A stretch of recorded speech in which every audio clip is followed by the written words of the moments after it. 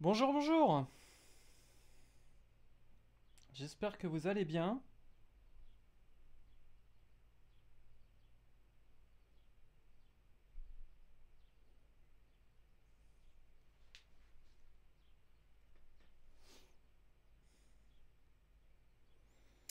Hello.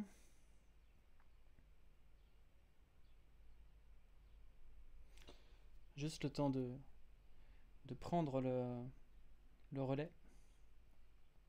Je vais récupérer vos commentaires, si je les vois.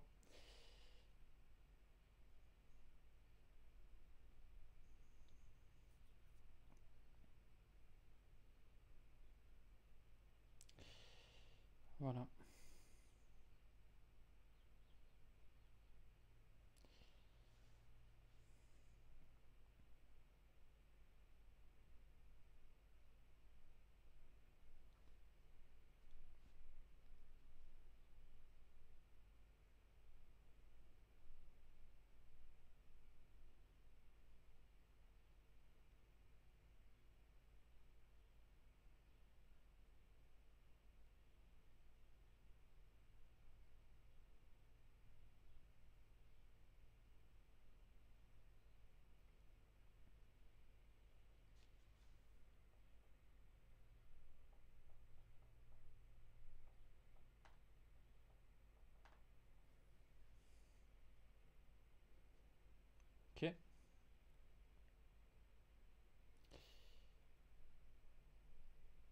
1, 2.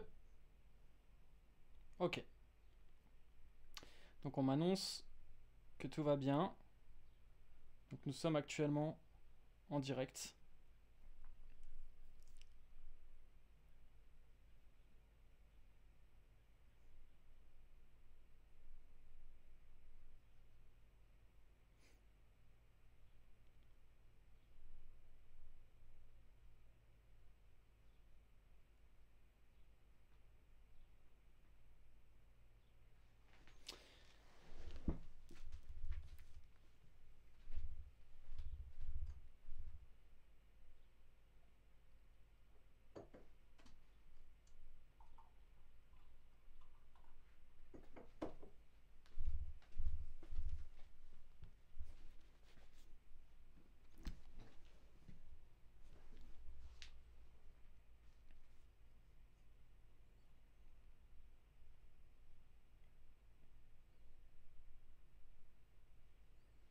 Bonjour.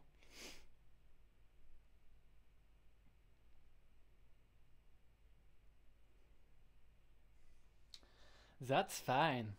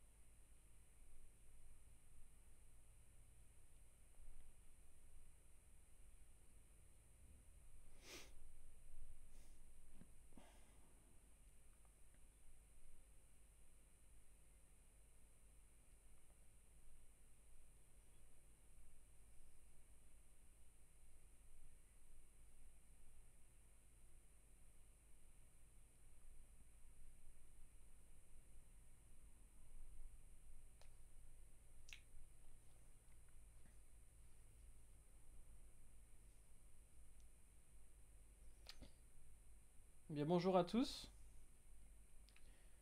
Il me semble que nous sommes en direct.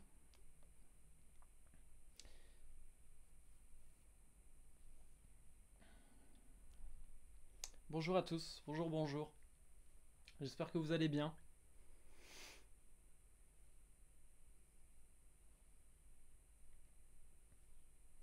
Encore un petit peu attendre. Bonjour, bonjour. Bonjour. Merci Logic. Donc voilà. J'espère que vous allez bien. On va pouvoir euh, converser euh, ensemble. Merci, euh, merci à Sonovante donc de nous accueillir aujourd'hui pour, ce live sur une, sur une présentation d'une carte. On va attendre un peu que le monde, le monde vienne. Donc moi ça va. J'ai passé, j'ai passé une petite journée à, tester deux trois choses. Et franchement ça va. Salut Nicolas, bonjour à tous. Alors n'hésitez pas, je vous vois en commentaire. Bon, je vois les, les commentaires un peu, euh, bah, comme toujours dans les lives, un peu en latence. J'ai euh, certains collègues euh, qui sont là aussi pour vous répondre au cas où je laisserai passer une partie que je ne verrai pas. Parce que je ne vais pas pouvoir avoir la tête sur le, sur le téléphone. Bonjour Laurent, bonjour. Bonjour à tous.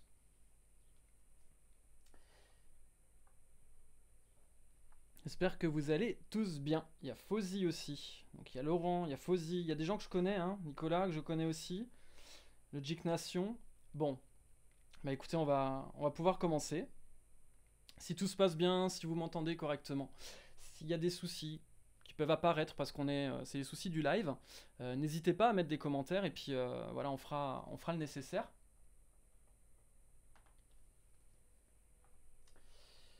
Voilà, voilà. Donc oui, voici la bête, hein. voici la bête, le, le, Zen Tour Synergy Core. Et aujourd'hui, on se retrouve d'ailleurs euh, bah, pour celle-ci. J'ai eu l'occasion de la tester il y a, quelques mois. Euh, donc la version prototype, aujourd'hui on, donc on, j'ai la grande chance de pouvoir tester ce modèle qui est déjà arrivé dans, certains foyers.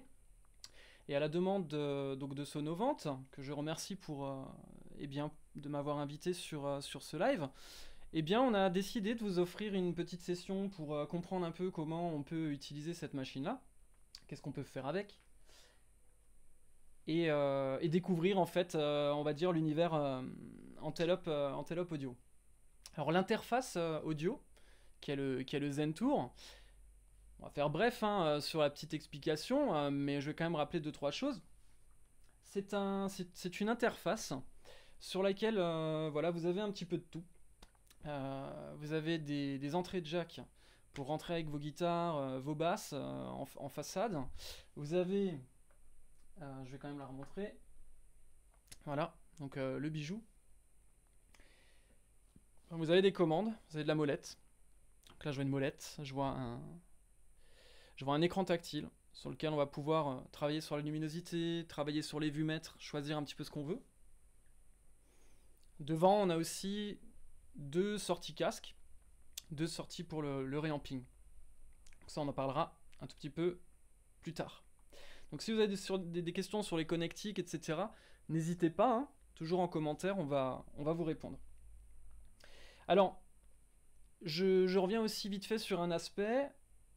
Il y a un jeu, vous pouvez gagner euh, des, micros, plus euh, des bons, qui vous sont offerts euh, du coup gentiment par, par Sonovante et, Antelope Audio à l'occasion de, ce live. Il faudra partager ce live avec un hashtag Zentour Synergicore. Alors euh, c'est indiqué finalement sur la description de, la vidéo. Ne vous trompez pas, hashtag Synergicore.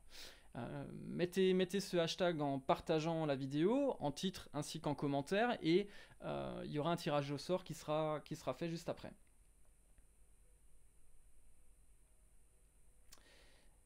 Voilà. Est-ce que euh, tout va bien? Est-ce qu'on m'entend?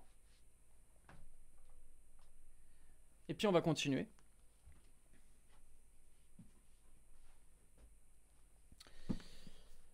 Alors, il est arrivé, il est arrivé là-dedans. Donc euh, le, Zen Tour. Hein. Donc euh, je l'ai déballé, je l'ai déballé. Donc il y avait à l'intérieur un câble USB. Il y pour le brancher, l'alimentation, très simple, euh, l'interface et euh, euh, on avait aussi une petite, donc on a une, chiffonnette à l'intérieur électrostatique qui est pour, pour l'écran. Voilà, voilà comment il arrive. C'est une boîte qui est épurée, hein. donc je l'ai déballé hein, pour pas qu'on pas qu'on perde trop de temps, etc. Et puis après voilà, parce que avec les installations, etc. Je rappelle dans le bundle aussi, vous avez, il y a 36 effets à l'intérieur, donc qu'on qu'on pourra voir juste après. On a aussi, on a aussi, alors que je regarde, hein, donc on a la possibilité encore une fois euh, d'insérer euh, des, effets, donc les effets en fait euh, par FPGA de, de, Antelope Audio. Et aujourd'hui il y a une nouvelle technologie à l'intérieur de cette interface. Donc c'est pas du tout la même interface qu'avant. Enfin pas du tout. On s'entend. sur la nouvelle interface, vous avez les, des DSP supplémentaires. Alors je sais pas si vous voulez vite fait qu'on parle des DSP et des FPGA, faites-le moi savoir en commentaire. En tout cas, voilà, la synergie core, euh, pour, faire simple, c'est en fait euh, la technologie Antelope Audio, plus, encore une fois, euh, les DSP. Les DSP, c'est ce qui est utilisé de manière générale et globale par, d'autres d'autres enfin, concepteurs de plugins. Et donc, du coup, bah, on s'est dit que c'était plutôt pas mal de faire en fait bah, l'assemblage des deux, l'addition des deux. Et c'est pour ça qu'en fait, le Zentour, il s'appelle le Synergy Core.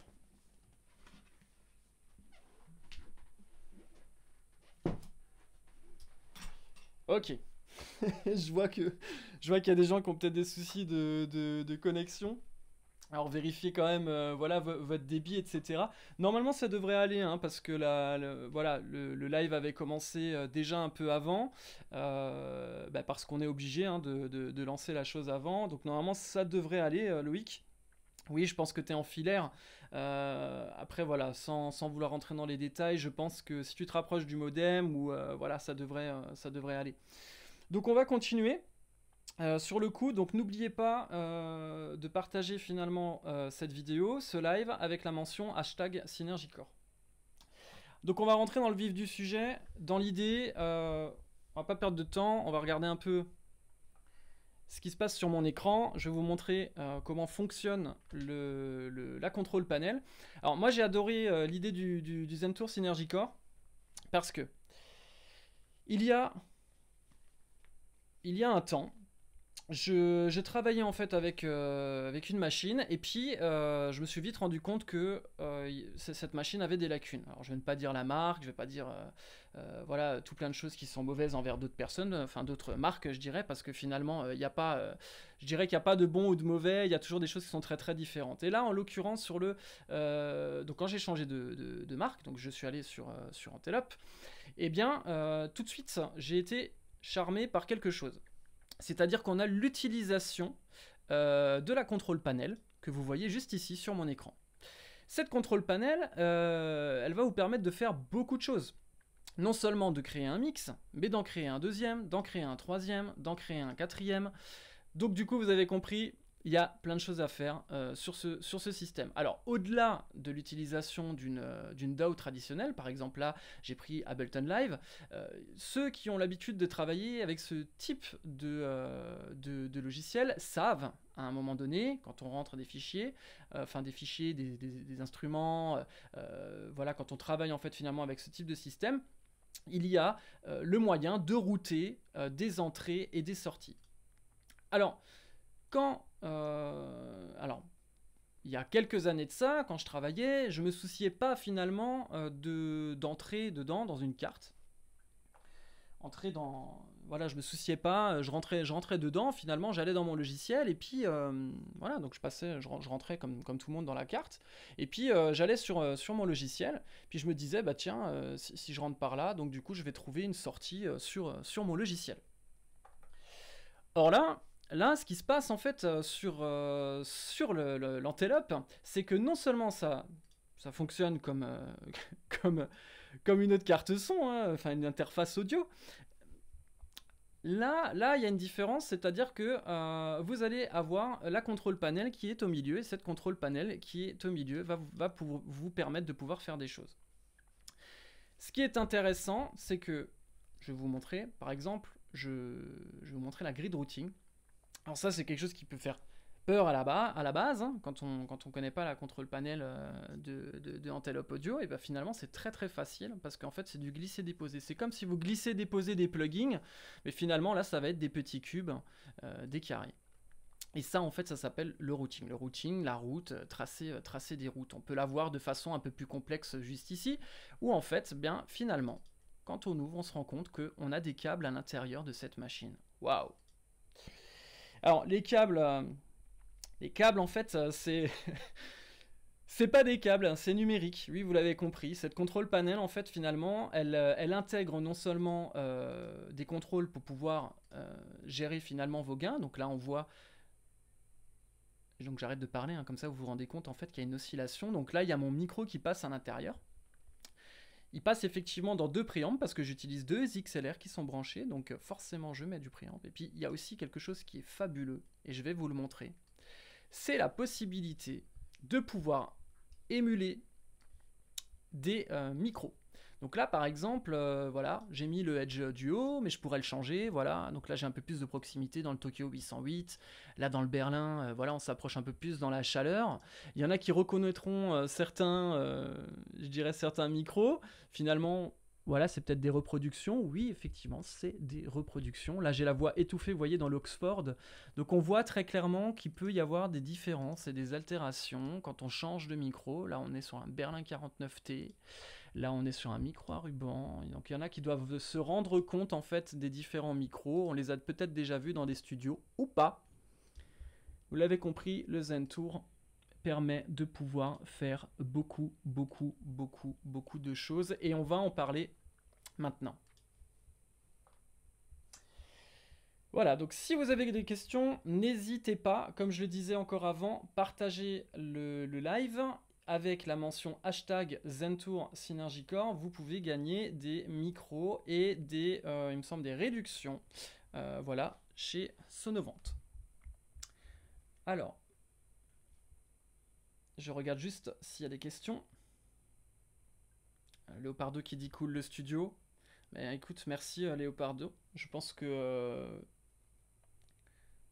Merci beaucoup. Merci beaucoup. Voilà, donc si, si vous avez des questions, n'hésitez pas. Je vais de checker un peu le, vais un peu de checker les choses. Voilà. Donc, vous, vous avez compris, ce qui est intéressant finalement dans euh, le Zen Tour, c'est que c'est comme un studio. Donc, imaginez le studio. Voilà. Vous avez vos instruments, vous allez pouvoir jouer avec vos instruments, ça va être super, vous pouvez brancher ça. Mais vous avez compris que le Zen Tour, c'est vraiment une interface formidable. Pourquoi? Parce que ça va pallier à toutes vos problématiques. J'explique. Quand euh, vous avez une interface chez vous à la maison, comme celle-ci, c'est une carte qui va vous permettre à la fois de sortir, donc faire des sorties, aller sur des enceintes, vous allez pouvoir aller dans des casques, vous allez pouvoir même tirer des lignes supplémentaires, donc admettons que vous vouliez tirer sur plein de plein d'eau-parleurs, bah c'est possible. Vous allez pouvoir aussi rentrer à l'intérieur, donc sur 4 jacks, et derrière vous avez 4 euh, XLR euh, combo jack. C'est du combo jack, donc vous pouvez mettre du XLR, vous pouvez mettre du jack. Vous allez pouvoir rentrer dedans. Euh, aussi, vous pouvez faire du réamping. Donc je vous expliquais avant qu'on on en parlerait. Le réamping, c'est quelque chose qui est très simple.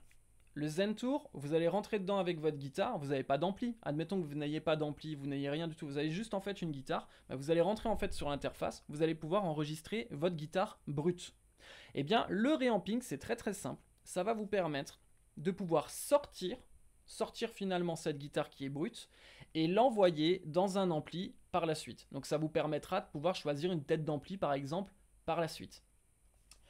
Ensuite, on a euh, Qu'est-ce qu'on peut dire d'autre? On peut dire aussi que euh, dans l'absolu, donc le réamping, le réamping on en a parlé, le fait d'avoir des sorties casques, ça c'est très intéressant aussi. Euh, on, peut, euh, on peut très clairement faire d'autres choses. Je vais, je vais vous montrer d'ailleurs que même en fait quand on travaille avec du MIDI, ben on va pouvoir, en travaillant avec du MIDI, on va pouvoir utiliser ce qu'il y a à l'intérieur. Donc à l'intérieur, il y a quoi? Il y a des AFX. Donc avant, je vous disais, il y a 36 AFX qui sont intégrés avec la Synergy Core.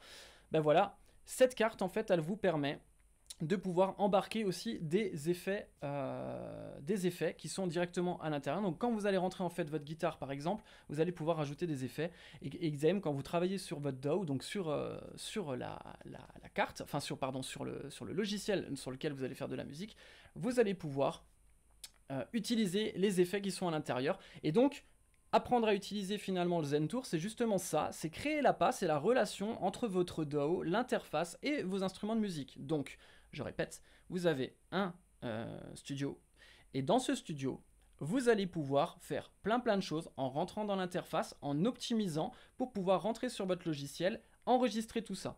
Et ça va jusqu'au mastering parce que finalement la carte, elle embarque euh, des, des composants qui sont professionnels, qui ont une qualité optimale et qui vous permettront de mener à bien en fait un projet.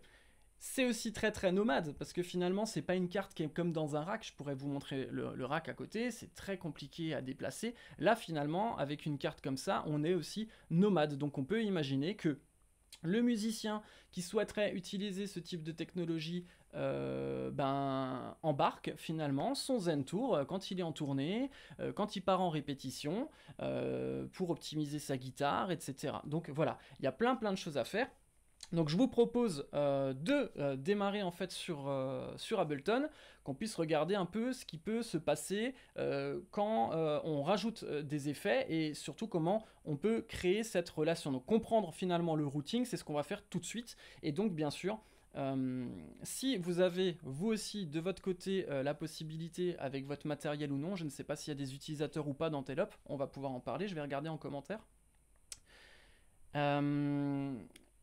on, va, faire un petit sondage, on va regarder s'il y a déjà des utilisateurs qui rencontrent des problèmes sur la session de routing. En tout cas, on va rentrer dessus et vous allez voir, c'est très très facile de s'en euh, servir.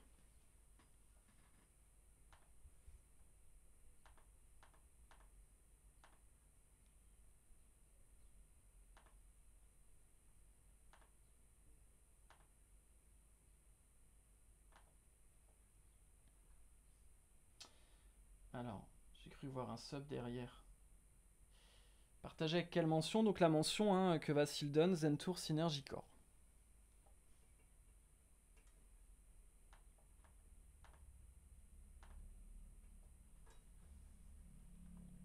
Donc j'attends hein, de voir un peu si on a aussi des commentaires. De toute façon, on a le temps. Hein.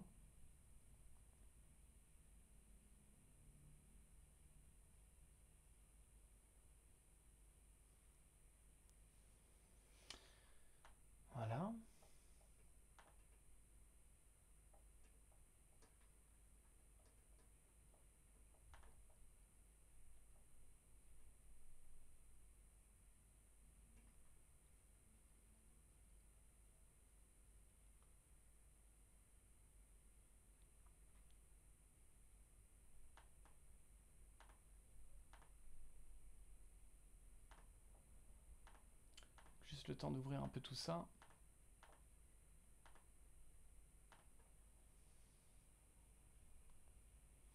Je ne sais pas s'il y a des utilisateurs. je vais juste changer de session. Mettre une session correcte.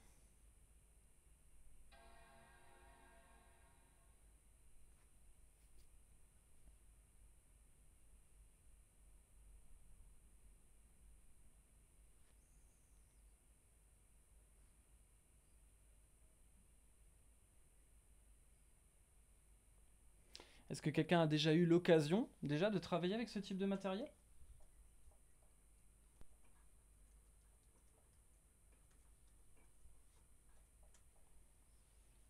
C'est le moment. Hein. Je suis là aussi pour répondre à vos questions, parce que je sais qu'il y en a beaucoup qui se posent euh, parfois euh, voilà, moult questions euh, par rapport à l'utilisation de ce type de matériel. Donc n'hésitez pas, encore une fois, à nous dire.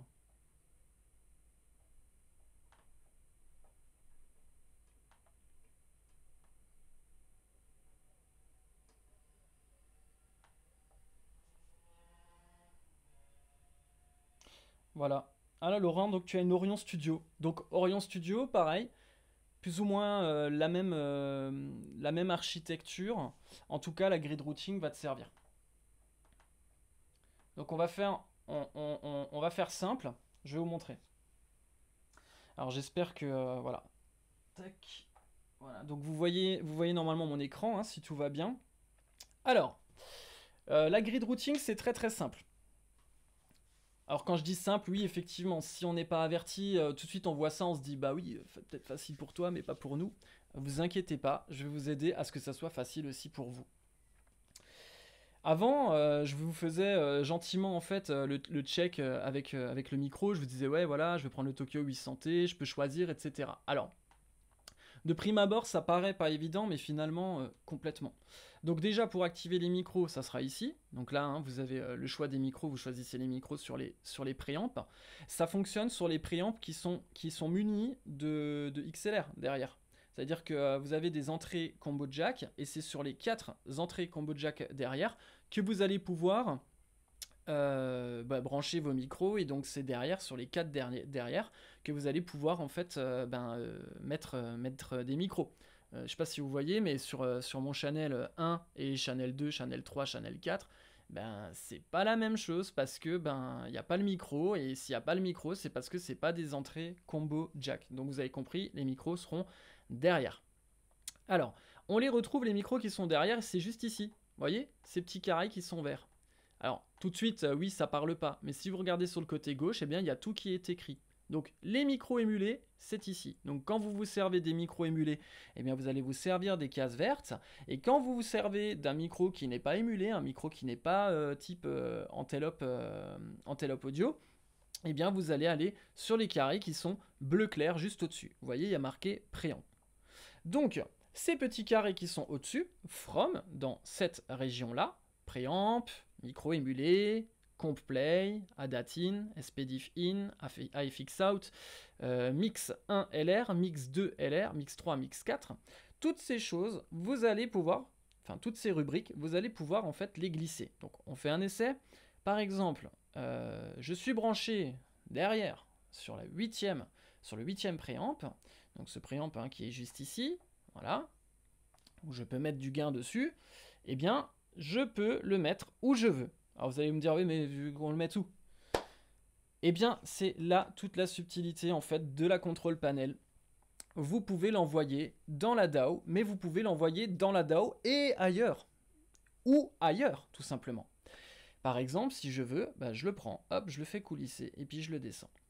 Alors, je le descends, je sais pas, hop, allez, dans le mix Channel 4. Eh bien, c'est pas anodin ce que je viens de faire. Et ouais, vous l'avez compris. je le mets dans le mix 4 parce que vous avez 4 mixeurs. Ça veut dire que finalement, vous allez pouvoir créer des mix, vous allez pouvoir entendre des choses sur chaque mixeur qui va être très très différent. Oui, vous pouvez vous en servir pour quelqu'un. Admettons que vous avez, euh, alors ça m'est arrivé, moi j'ai eu le coup, euh, quelqu'un qui était euh, presque sourd. Et du coup, ce que j'ai fait, c'est que j'ai envoyé la quantité du, du, préamp, en fait, je l'ai envoyé 4 fois dedans. Et en l'envoyant quatre fois dedans, j'avais quelque chose qui était beaucoup plus puissant que je pouvais lui envoyer dans le casque. Alors vous allez me dire peu conventionnel, mais ça a fonctionné.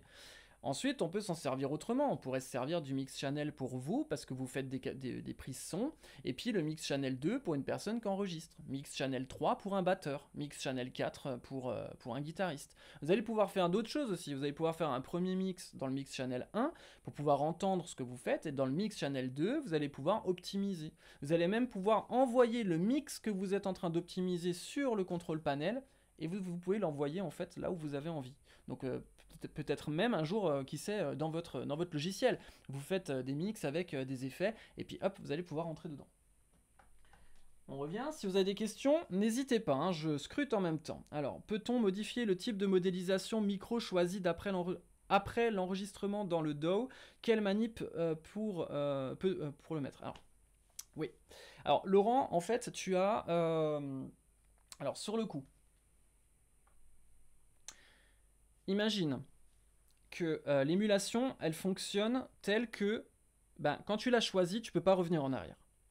Mais je vais te montrer quelque chose que tu peux faire pour pouvoir revenir en arrière. Allez, c'est le petit tips. Alors admettons que mon euh, micro, alors je sais pas si ça va, j'espère que ça va pas bugger parce que j'ai fait un, j'ai trifouillé quelque chose avant sur mon ordinateur, donc j'ai peur que ça ne fonctionne pas. Ouh, ok, ça fonctionne. J'ai de la chance. J'espère que ça va pas craquer et j'espère qu'on va pas se perdre. Alors, c'est juste dû à moi parce que euh, voilà, je sais pas ce que j'ai fait. Avant, j'ai mélangé des câbles. Alors, euh, vous avez donc, euh, enfin tu as, pardon, excuse-moi, ce micro, tu vois, je viens de l'activer par exemple en 7.8. Donc si tu as un Edge Duo, ça va fonctionner comme ça, en 7.8, parce que tu as besoin de 2 XLR. Mais si tu avais eu un, des Verge, par exemple, euh, les, les micro-cigares, j'en ai juste ici. Voilà, ça c'est des, des micro-cigares. Tu as juste un XLR à brancher. C'est pas la même émulation, ça fonctionne avec un XLR, là ça fonctionne avec deux. Voilà. Alors, ce qui se passe, c'est que on va pouvoir le faire avec le mien. On va peut-être l'enlever quand même, on sait-on jamais là, parce qu'avec cette bêtise que j'ai fait, rien ne va plus. Alors, ici, tu as, le micro. Donc tu vois, comme j'ai dit, j'ai choisi le Tokyo 800T. Tu imagines bien que si on entend finalement le Tokyo 800T ici, et là d'ailleurs, euh, on est en train d'entendre mon mixeur 1 qui est ici, eh bien, euh, le Tokyo 800T, ben, c'est ce qu'on entend, et si je décide de l'enregistrer, eh bien, je vais enregistrer le Tokyo 800T. Alors, tu entends ici actuellement le Tokyo 800T qui est ici. Voilà, la petite case verte. Tokyo 800T, c'est marqué, c'est très petit, c'est marqué. Alors attends, on va essayer un peu de... Je vais, je vais agrandir. Voilà. J'ai des soucis de résolution chez moi, c'est pour ça que vous n'avez pas un plein écran. Euh, donc euh, voilà, j'espère que euh, vous allez quand même... Enfin, que c'est plus ou moins lisible. Alors, vous avez le Tokyo 800T qui est ici. Donc c'est bien évidemment ce qu'on entend, mais vous voyez, regardez, c'est pas muté ici. Eh bien c'est parce que finalement, j'entends déjà le Tokyo 800T, mais ici, j'utilise encore quelque chose d'autre. Ça veut dire que j'ai déjà fait quelque chose avec euh, mon micro, et on va revenir juste après. Donc d'abord, je finis pour ton tips. Ce que tu peux faire, c'est que dans ton routing, tu choisis d'enregistrer par exemple ceci, donc c'est-à-dire ton Tokyo 800T, regarde, je vais le mettre ici, dans Comprec, parce que Comprec c'est la ligne qui va aller sur le logiciel. Donc tu peux décider de l'enregistrer comme ça, mais tu peux aussi décider de l'enregistrer brut. Et pour pouvoir l'enregistrer brut, on fera comme un micro traditionnel. C'est-à-dire qu'on prend le préamp bleu clair qui nous permettra de pouvoir enregistrer son micro brut. Voilà. Donc le petit tips, c'est justement ça, c'est d'enregistrer, de pouvoir enregistrer, et à la fois euh, de façon émulée son micro, et à la fois euh, de façon brute, pour pouvoir appliquer par la suite les effets. Parce que oui, tu pourras revenir en arrière si tu as la session qui est brute. Si ton micro en fait si ton micro finalement, bien il est déjà émulé quand tu l'enregistres, bien évidemment tu vas l'enregistrer avec l'émulation, tu ne pourras pas revenir en arrière. Donc ce qu'il faut faire, euh, enfin c'est ce que je préconiserais, c'est euh, d'enregistrer finalement ton préamp 5 en brut, plus encore ton préamp 5 euh, avec l'émulation. Comme ça, tu as choisi une émulation, tu la mets parce que ça te plaît. Mais si tu veux revenir en arrière, tu auras enregistré ton préamp 5 brut de manière à pouvoir appliquer par la suite les effets. Donc si vous avez des questions encore une fois, n'hésitez pas, j'espère avoir bien répondu. On va passer sur l'histoire des AFX. Et ça, je pense que ça en intéresse plus d'un. Puis je vais prendre un coup d'eau. Hein.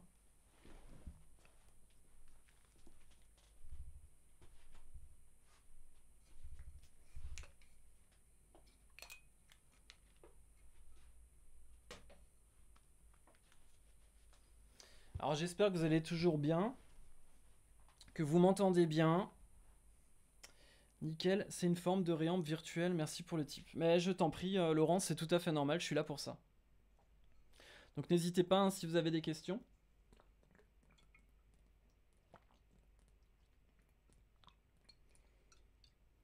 Je suis un ogre avec l'eau.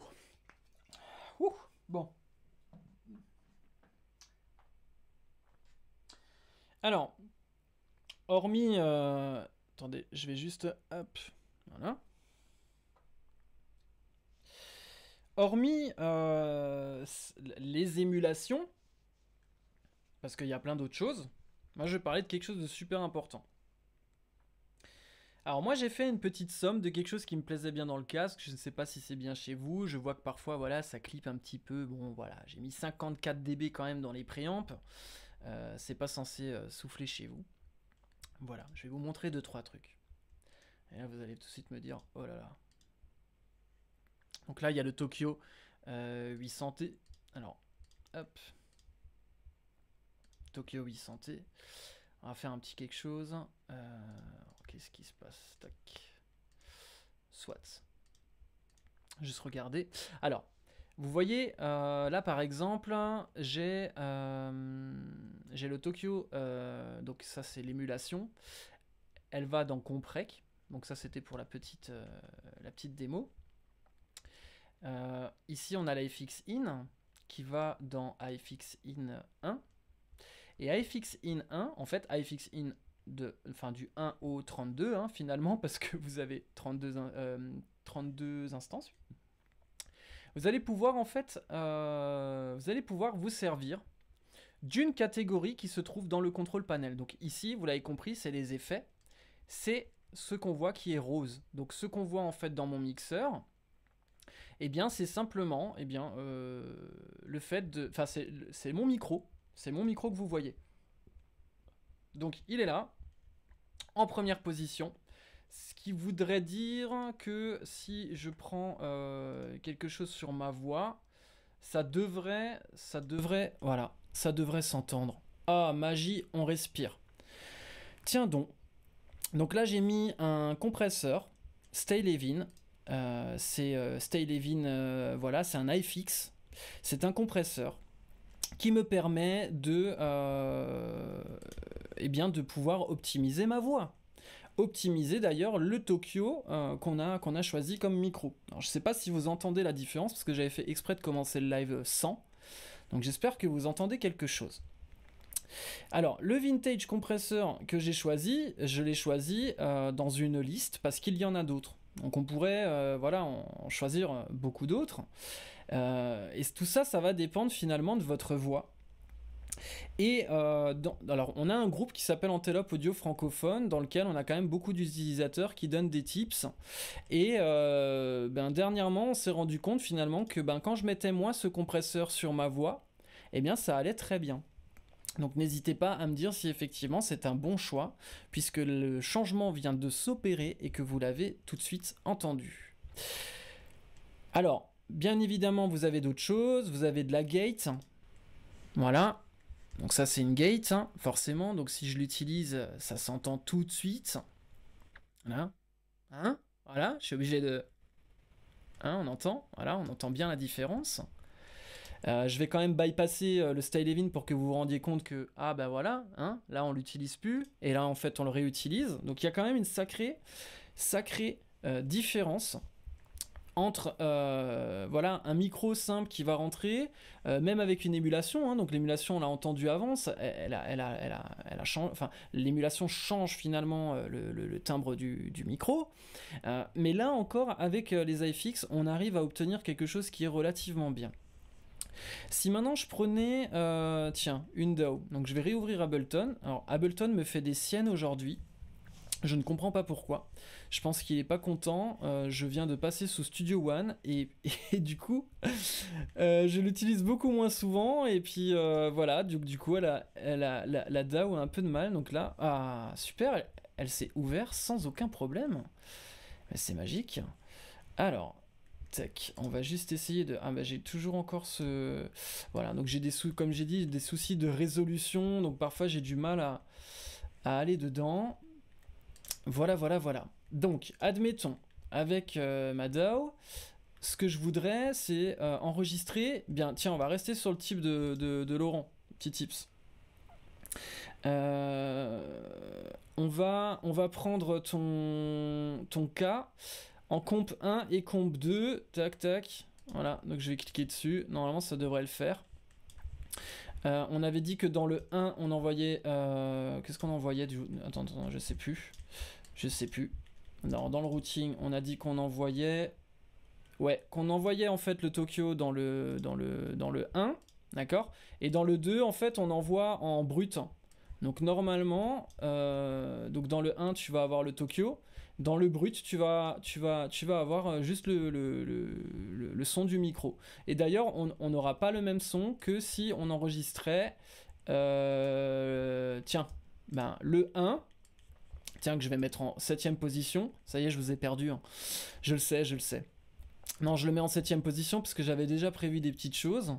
Euh, et j'espère d'ailleurs pouvoir les récupérer par euh, la suite. Tiens, alors, vous voyez, il me fait des siennes en fait, c'est-à-dire que mon, logiciel ne me permet pas de faire ce que j'ai envie.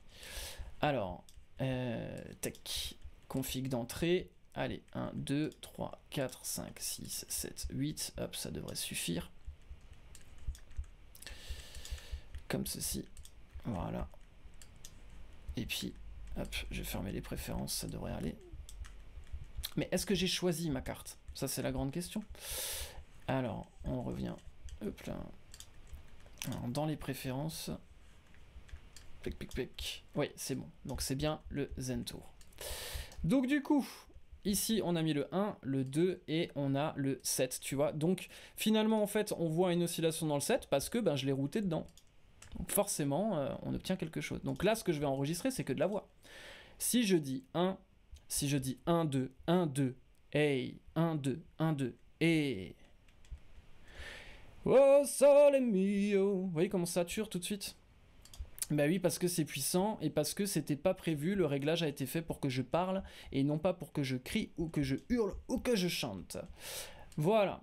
Donc, on voit clairement la petite saturation, on s'en fiche. Nous, ce qui nous importe, c'est ce qui s'est passé juste ici. Regardez. Donc, je mets en solo. Donc, la une, c'est le Tokyo. 1, 2, 1, 2, hey, 1, 2, 1, 2, et... Ok, donc ça c'est le Tokyo. Là, on a la partie brute. Si je dis 1, 2, 1, 2, si je dis 1, 2, 1, 2, hey, 1, 2, 1, 2, et...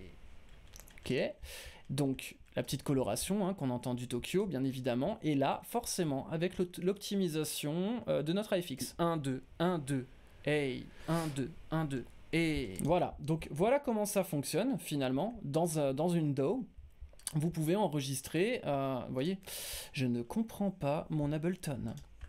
Alors, euh, on, peut, on peut finalement bah, enregistrer toutes les, euh, toutes les différentes étapes pour pouvoir revenir en arrière. On est sur ta webcam et on ne voit pas ton partage d'écran. Oups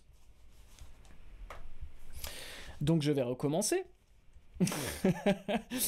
C'est pas grave. Je viens de cutter en plus la, session. Magnifique. Alors, je recommence rapidement.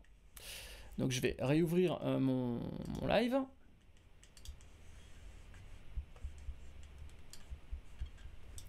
Ok, il vient de s'ouvrir. Super. Donc il a pris déjà moins de temps qu'avant. C'est magnifique. Donc, hop là. Donc là, vous voyez, hein, vous me confirmez que vous voyez, j'espère. Gracias. Peut-on voir la cam sur panel? J'ai fait. Je, bon, allez, je, me dépêche, comme ça c'est vite fait, ok? Alors, hop, j'enlève les pistes MIDI, tac tac, je prends trois pistes audio, bim bim. Euh, on revient sur le truc, donc je prends un, deux. Vous voyez, je sais pas pourquoi le logiciel ne veut pas, il est en PLS, c'est pas grave. Donc j'ouvre mes préférences. Dans mes préférences, hop, je check, je vérifie qu'il y a ma carte, config d'entrée 1, 2, 3, 4. On va aller jusqu'à 5, 6, 7 et 8 parce qu'on a euh, dans le 7, tac tac, hop, euh, voilà, donc le 7 est ici, le 2 est là, le 1 est là, on check dans le routing, clac clac, donc comprec 1, donc dans le comprec 1, on a le Tokyo, dans le comprec 2, on a l'enregistrement brut, et dans le comprec 7, on a avec les AFX 2 DAO, donc ça veut dire qu'on a une couleur rose. Donc le 1, le 2, le 7, vous avez compris, c'est ce que j'ai dans ma DAO qui est juste ici. Et si je décide de les enregistrer, je vais donc enregistrer trois sources complètement différentes. Je vous montre 1, 1, 2, et hey Wow, Je fais pas la même erreur qu'avant parce que j'ai saturé. Voilà. Donc du coup, on a ça. J'essaie de l'ouvrir un peu plus grand comme ça, vous le voyez. Tac, tac, tac. Voilà ça on voit mieux. Donc là, on voit clairement qu'il y a une différence. Donc, petit 1, eh ben, c'est l'émulé, hein, il était en vert. Petit 2, bah, c'est le bleu. Euh, enfin, ça c'est un peu... Euh, c'est pas trop bleu ça. Bleu, voilà. Et ici, on a du rose. J'aurais pu le faire avant, parce que comme ça, on aurait eu la piste avec. Alors, en 1, on a le Tokyo. Je vous laisse écouter. Hop là. 1, 2, et hey. Ok, donc là on est sur un Tokyo, là on est sur le neutre. 1, 1, 2, et hey. il n'y a pas trop de différence entre un Tokyo 800T et puis un Antelope, je l'avoue. Euh, on pourrait, euh, si on chipotait ou on pinaillait, on pourrait essayer avec euh, d'autres micros. Mais ce qu'il faut savoir, c'est que Tokyo 800T euh, est, une euh, reproduction d'un micro qui est très, très connu, euh, mais qui vous donne beaucoup de clarté en fait dans la voix. Et le Antelope Audio, sur sa configuration de base, il est multidirectionnel. Je vais vous le montrer justement après.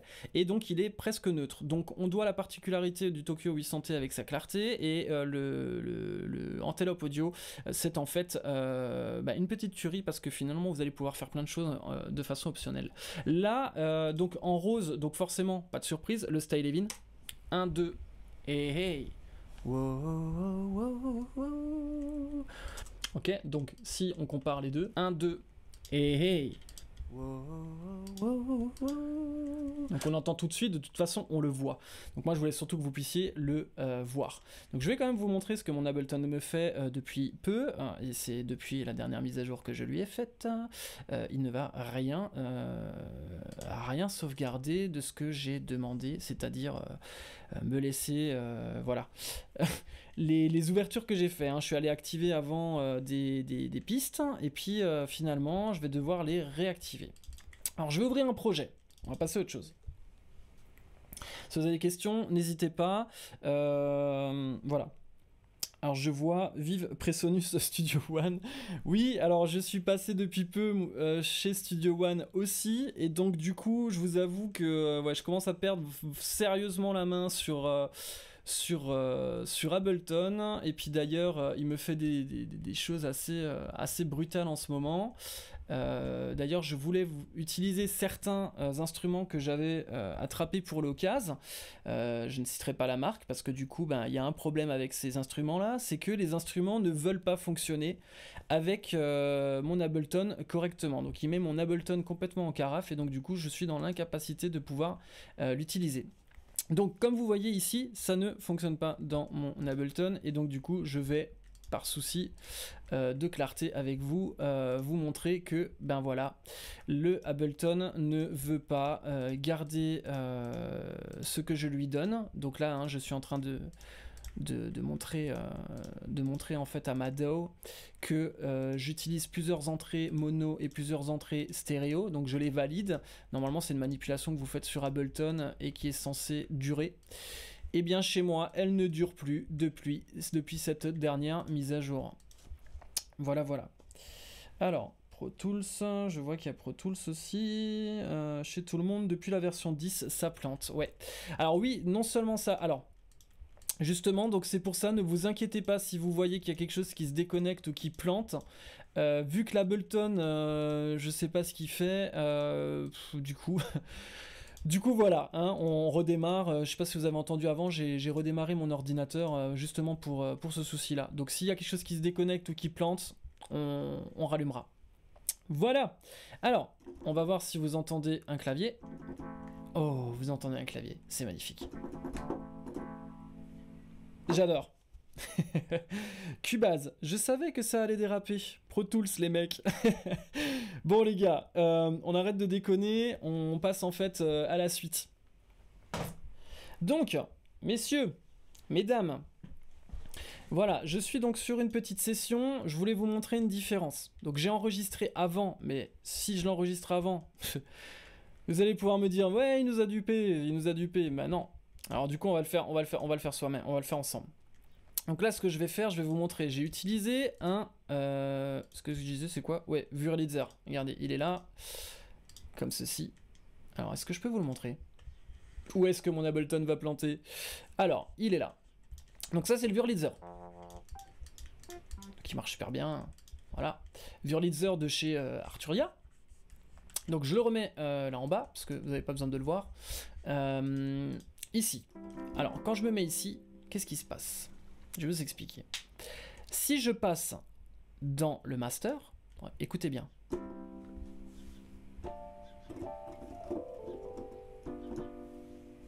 Et regardez, on va se remettre en 3-4. 3-4. Écoutez bien. Il y a quelque chose qui se passe. Hein, hein Avouez qu'il y a quelque chose qui se passe. Alors, ben, finalement, finalement, ce qui se passe, c'est que j'ai envoyé mon euh, piano dans euh, Comp Play 3.4. Donc dans les sorties 3-4. Les sorties 3-4 qui sont ici. Et regardez, quand j'appuie dessus, ça devient grisé, on voit qu'elles sont dans les AFX in en bas en 3-4. Si je vais en 3-4 ici, bien sûr je les ai couplées, hein. Voilà. Et quand on appuie, on a une oscillation dans le reel to reel. Donc si je veux augmenter en puissance,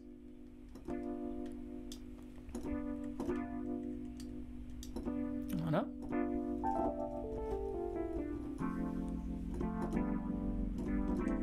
Et si je le bypass,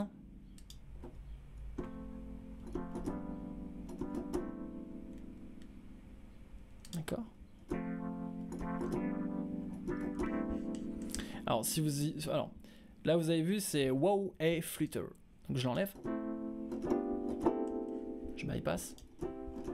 Moins de puissance. Je remets. Puissance. Et là, on fait fuiter un petit peu la bande. Vous voyez, c'est sympa. Hein Et donc, tout ça en direct. Hein. donc, euh, pas de chichi, je vous montre. Donc là, je suis sur mon piano. Hein.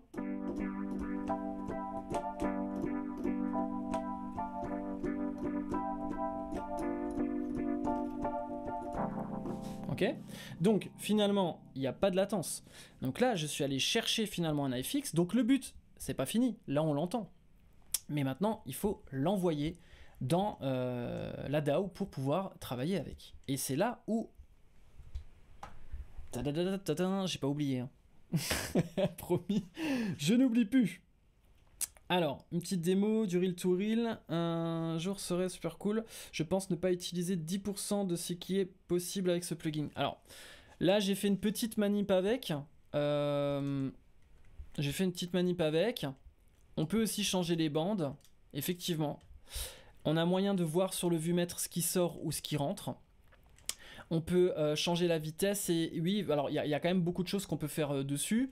Euh, je peux pas jouer et manipuler en même temps, il faudrait que j'enregistre, on pourrait le faire. Mais voilà, j'aimerais avancer, peut-être que si on a le temps après, je reviendrai dessus.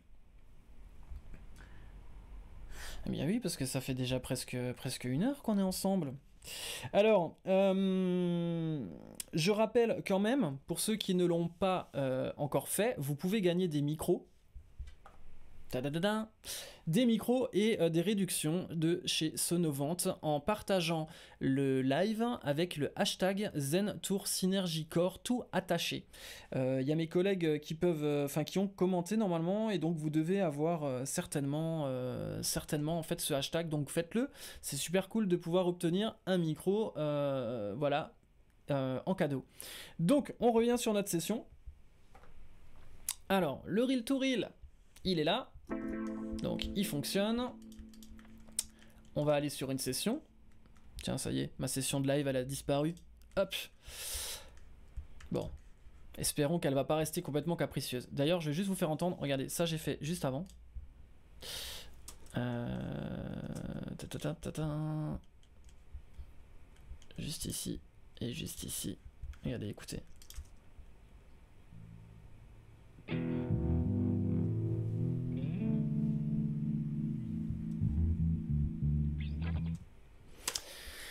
Donc là, j'ai utilisé ma basse et ma guitare pour m'éclater parce que j'avais mis un trémolo et j'avais mis un préamp. On va voir juste ça après, ok? Donc là, pas de secret. On est sur euh, le Wurlitzer. On l'a réglé de cette manière-là. Donc on, allez, on va faire sur un 120 BP. On va rester comme ça. Allez, j'enregistre.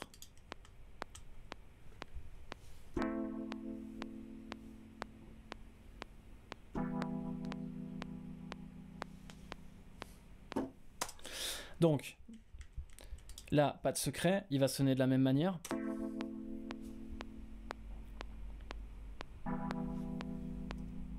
Voilà. La petite subtilité finalement, parce qu'on passe à l'extérieur, eh bien, je fais aussi rentrer de nouveau euh, le son. Ici dans mon routing, hein, comme je vous disais, donc on sort dans le 3-4. Le 3-4, on l'emmène dans les AFX in. Et on ressort donc de ces effets ici, donc du 3-4, on va ressortir, on va ressortir, on va aller une fois dans le mixeur, parce qu'effectivement, si vous allez dans, euh, vous allez dans la, si vous, sortez finalement de, la DAO, que vous indiquez que vous sortez, vous allez plus pouvoir entendre dans votre master votre piano. Donc votre piano, il va se diriger où? Bah, Là où vous avez demandé. Donc il va aller en 3-4 euh, là en bas, dans les iFix in. Et forcément, vous n'allez toujours pas l'entendre. Donc là, vous allez stresser, vous allez dire Ah mince, pourquoi? Eh bien, parce que finalement, la boucle, elle n'est pas faite. Vous êtes rentré dedans. Et ensuite, il faut ressortir. Donc si vous êtes rentré dans les iFix in, il faudra ressortir par les iFix out. Ce que je vous montrais justement avant dans la surface de routing, c'est très clair. C'est vous sortez de euh, votre DAW par 3-4. Vous rentrez à l'intérieur en 3-4. Forcément, si vous rentrez dedans, faut ressortir. Il y a beaucoup de gens qui m'ont dit oui, mais ça fonctionne pas, qui étaient stressés. Bah, si vous appuyez sur iFix Out, bah, vous allez pouvoir ressortir. Là, ici, en 3-4, vous ressortez. Oui, ça bifurque chez moi, c'est une grosse autoroute, mais ça, on s'en fiche. Ce qu'on veut voir, c'est que finalement, le 3-4, il va une fois dans le comprec. Vous avez bien compris Complay, on sort de la DAW. Comprec, on rentre dans la DAW. Et on va aussi dans le mix Channel 1. Bien sûr, bah, c'est tout à fait normal. Pourquoi? Bien parce que si vous l'envoyez le 3-4 et que vous allez en comprec, vous allez pouvoir l'enregistrer, vous n'allez toujours pas l'entendre. Il faudrait éventuellement l'entendre dans votre DAW, et là par contre si vous le faites, vous devriez avoir une latence. Peut-être qu'elle est minime, mais elle devrait être là. Donc moi ce que je vous conseille finalement, c'est d'aller en 3-4 dans votre contrôle panel, enfin pardon, dans votre mixeur, vous allez dans votre mixeur 1, vous voyez, moi c'est ce que j'ai fait, 3-4 c'est là, d'accord? Et euh, vous rentrez euh, donc à la fois pour aller enregistrer dans la DAW et vous, vous, l'écoutez en fait dans votre mix channel 1. Donc mix channel 1 c'est juste ici, voilà, il n'y a pas de secret. Et on l'entend d'ici. Ce qui veut dire que si je mute ici, eh ben je n'ai rien du tout. Pourtant, je suis en train d'appuyer comme un bourrin sur mon piano et ça ne marche pas. Donc vous avez bien compris, finalement, le routing il se passe ici, c'est-à-dire qu'on entend ce qui se passe dans le master. Donc ça c'est une partie du routing. Ensuite bien sûr il faut envoyer tout ça. Donc là bien sûr il va falloir contrôler et à la fois ici ce que vous faites et à la fois ce que vous faites à l'intérieur de votre DAW. Est-ce que vous avez des questions? Je vois que non. Donc on va continuer. Un homme de goût, Antelope Arturia. oui, je suis un homme de goût et je remercie Michel parce que euh, Michel m'a beaucoup aidé euh, sur, euh, sur la découverte en fait de la, voilà de, des instruments qu'ils utilisent. Moi, je les trouve vraiment sympas, un peu gourmands, j'avoue, mais ils sont vraiment sympas. Donc n'hésitez pas hein, si vous avez des questions comme euh, je dois le faire et je sais que ça vous plaît pas, mais vous pouvez gagner des micros. Et donc du coup, il faut partager cette vidéo avec le hashtag Zentour Synergy. C'est pour la sortie de cette machine qui est juste ici qu'on est en train d'utiliser avec Ableton. Voilà, voilà. Alors, euh, du coup, ce qui est intéressant, maintenant que vous avez vu comment on fait une petite boucle avec les effets, comment on s'en sert, c'est de les enregistrer. Là, euh, j'ai enregistré euh, deux accords du piano. Et ces deux accords du piano, bien, c'est très très simple. Euh, c'est numérique, c'est MIDI, pardon. C'est un protocole de communication. Protocole de communication MIDI n'est pas un protocole de communication comme un autre. c'est du courant, voilà, etc. Ça fonctionne comme ça et ça fait des carrés dans la DAO. Tout ça, tout le monde connaît ou est censé connaître ou découvre. Donc sachez-le aujourd'hui, ça, ce sont euh, des impulsions euh, que j'ai données sur mon piano et qui nous permettent de pouvoir jouer avec un piano. Et donc, nous, ce qu'on a fait, c'est qu'on l'entend pas au travers du master, donc au travers de la DAW. Là, on l'entend au travers de 3-4, 3-4 qu'on entend dans notre mixeur. Moi, je m'en sers pour pouvoir travailler mon effet qui est juste ici. Mais maintenant, ce que je veux faire, puisque j'ai créé ma boucle euh, au travers du routing que je vous ai montré, je veux le réenregistrer. Enfin, le réenregistrer, non, mais du moins, je veux bénéficier de mon iFix. Eh bien, on a ici simplement les impulsions que j'ai enregistrées. Donc vous avez compris, j'ai plus besoin de rien faire. Finalement, quand j'appuie sur ma barre d'espace, hop, j'ai le son qui est censé sortir. Et là, s'il ne sort pas, c'est parce que, comme je vous ai expliqué avant, il faut absolument travailler avec euh, le mixeur qui est ici. Et donc là, je viens de démuter. Donc normalement, pas de surprise. On va obtenir du son ici. Et donc, ce qui se passe, c'est vu que ça va en 3-4, moi ce que j'ai fait, j'ai donné la direction à mon routing, je vous le remontre ici, j'ai dit eh ben c'est bien, tu me fais écouter le 3-4 et moi le 3-4 qui est ici, je vais aussi le mettre dans comp rec. Donc 1 2 et 3 4. Donc 3 4 en fait finalement, c'est les deux roses que vous avez vues ici, ça correspond exactement à ceci. Donc finalement, ça rentre à l'intérieur et donc dans les externes in, on voit donc le micro. Je suis en train de parler 1 2 au travers des AFX, 7 uniquement le micro en émulation, 6 le petit jack que j'ai laissé sur le tapis. Et puis là maintenant, on va avoir autre chose. On va avoir le piano dans le 3-4. Vous voyez? Donc très simple. Du coup, la manœuvre serait que, bah, puisque maintenant j'ai joué et que je veux du reel to reel dessus, eh bien je vais tout simplement l'enregistrer comme ceci.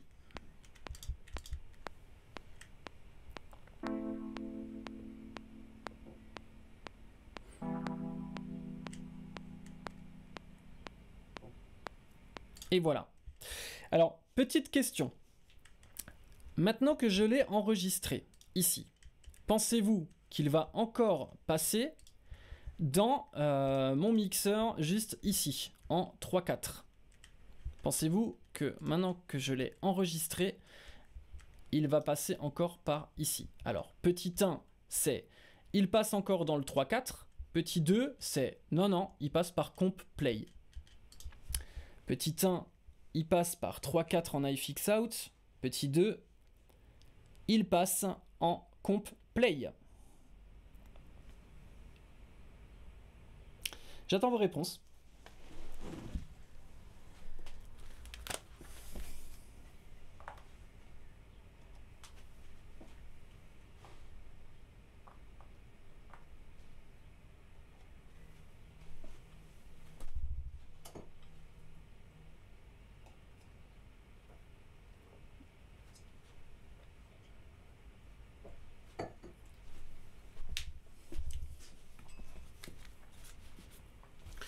Peut-être pas tout suivi, mais il sort en 3-4, je pense. Alors Charles, il pense en 3-4. Charles pense en 3-4. 2, il passe par comp play. Donc Laurent pense qu'il passe en comp play.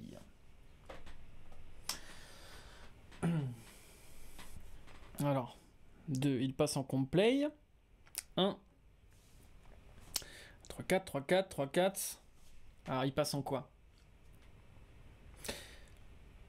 Bon, allez, on va pas faire durer le suspense.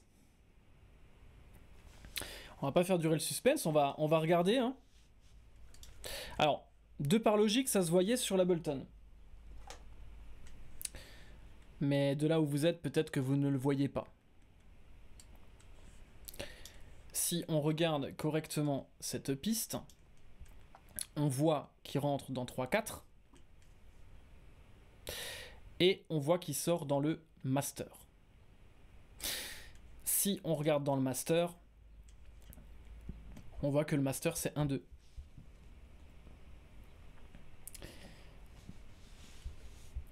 Est-ce que ça répond à votre question? Oui, il sort euh, en comp play. Il sort en comp play, donc il sort en 1-2, il ne va pas sortir en 3-4. Par contre, par contre, cet instrument là qu'on a, a joué, le Wurlitzer, qui est ici, euh, qui est joué, lui, il va dans le 3-4. Il va pas dans le master. Donc là, on vient d'utiliser le reel to reel, finalement, bénéficier de l'IFX pour créer euh, eh bien, euh, cet enregistrement qui est juste ici. Et puisque cette piste audio, elle recevait 3-4 en comp rec, eh bien, on, a, euh, on obtient finalement dans le master le son euh, de, de, la bande, mais qui ne passera plus par euh, ce système, ce contrôle panel. du coup, Laurent, est-ce que tu as gagné un Goliath? Je, ne sais pas. Je ne sais pas. Moi, je ne peux que remercier Universon pour vous offrir euh, cette euh, masterclass sur laquelle on apprend en fait vraiment à utiliser euh, voilà ce, type de machine. Je pense que je, je pense qu'un Goliath c'est beaucoup quand même pour juste juste cette petite question. Mais par contre, je donnerais une très bonne note sur le fait que tu es tout à fait, enfin, tu as vraiment bien suivi le routing sans aucun problème. Ça, c'est sûr en tout cas. Donc la maîtrise du routing, vous l'avez bien compris, c'est très très important. Euh, si, si, si, vous savez utiliser cette grille de routing, il n'y a, plus de soucis à se faire. Vous allez pouvoir euh, bénéficier euh, de toutes les fonctionnalités de, voilà, de, votre interface audio. Quoi. voilà, c'est juste des petites briques à déposer, vous les mettez là où vous voulez. Alors oui, au début, ça a l'air très très compliqué, mais finalement, pas, du tout. Quoi. Là, je fais un petit clic droit, voilà, je l'enlève. Là, j'enlève l'exemple qu'on avait justement avant. Voilà, voilà. Euh, du coup, on va quand même écouter ce que ça donne. Donc on a... Qu'est-ce qu'on disait?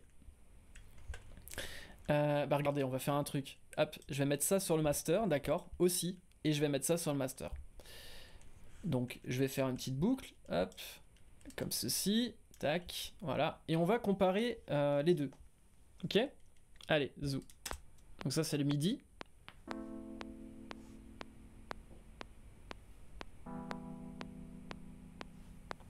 Peut-être enlever aussi euh, ce métronome.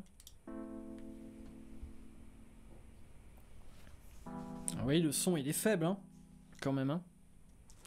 Alors, on va mettre le reel to reel.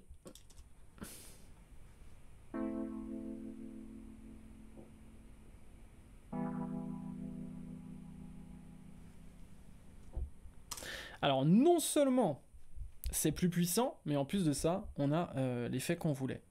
Et si on regarde bien, regardez, j'ai gardé le métronome avant pour ça. Écoutez bien.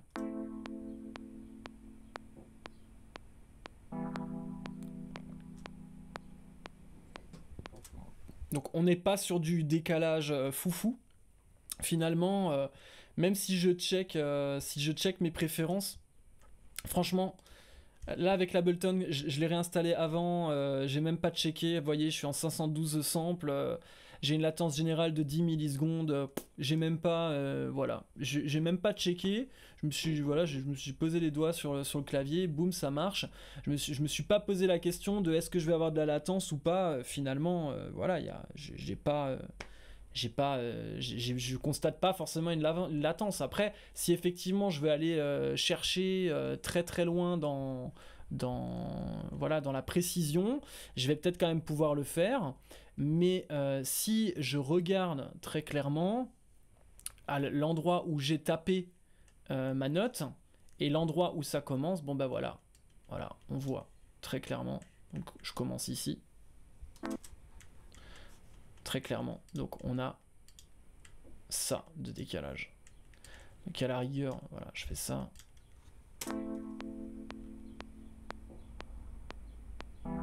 Voilà. Donc c'est vraiment pas grand chose, hein, sachant qu'en plus de ça, on peut l'optimiser euh, au travers de ce que je vous ai montré avant dans chaque DAO. Euh, voilà. Mais pour, euh, en tout cas, c'est comme ça que je crée des samples. Euh, et, que je m'amuse après euh, à, créer des musiques. Quoi, hein. Par exemple, là, ce, qui est drôle, euh, par exemple, sur un, sur un sample comme ça, je vais vous montrer.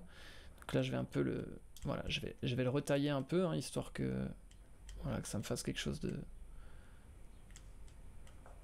Voilà, de correct. Tac. Ok. Voilà. Je vais me faire. Je vais me donner le luxe. Tac de le bouger. Je vais le mettre ici. De toute façon, j'aurais peut-être même pas besoin euh, de ça, donc je vais l'enlever.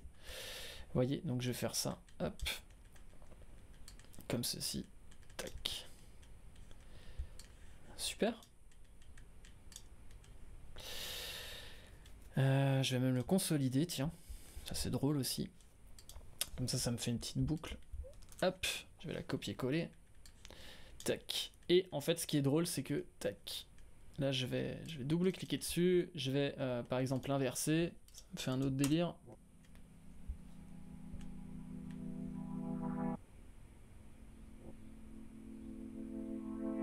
Voilà. Donc, forcément ça me plaît.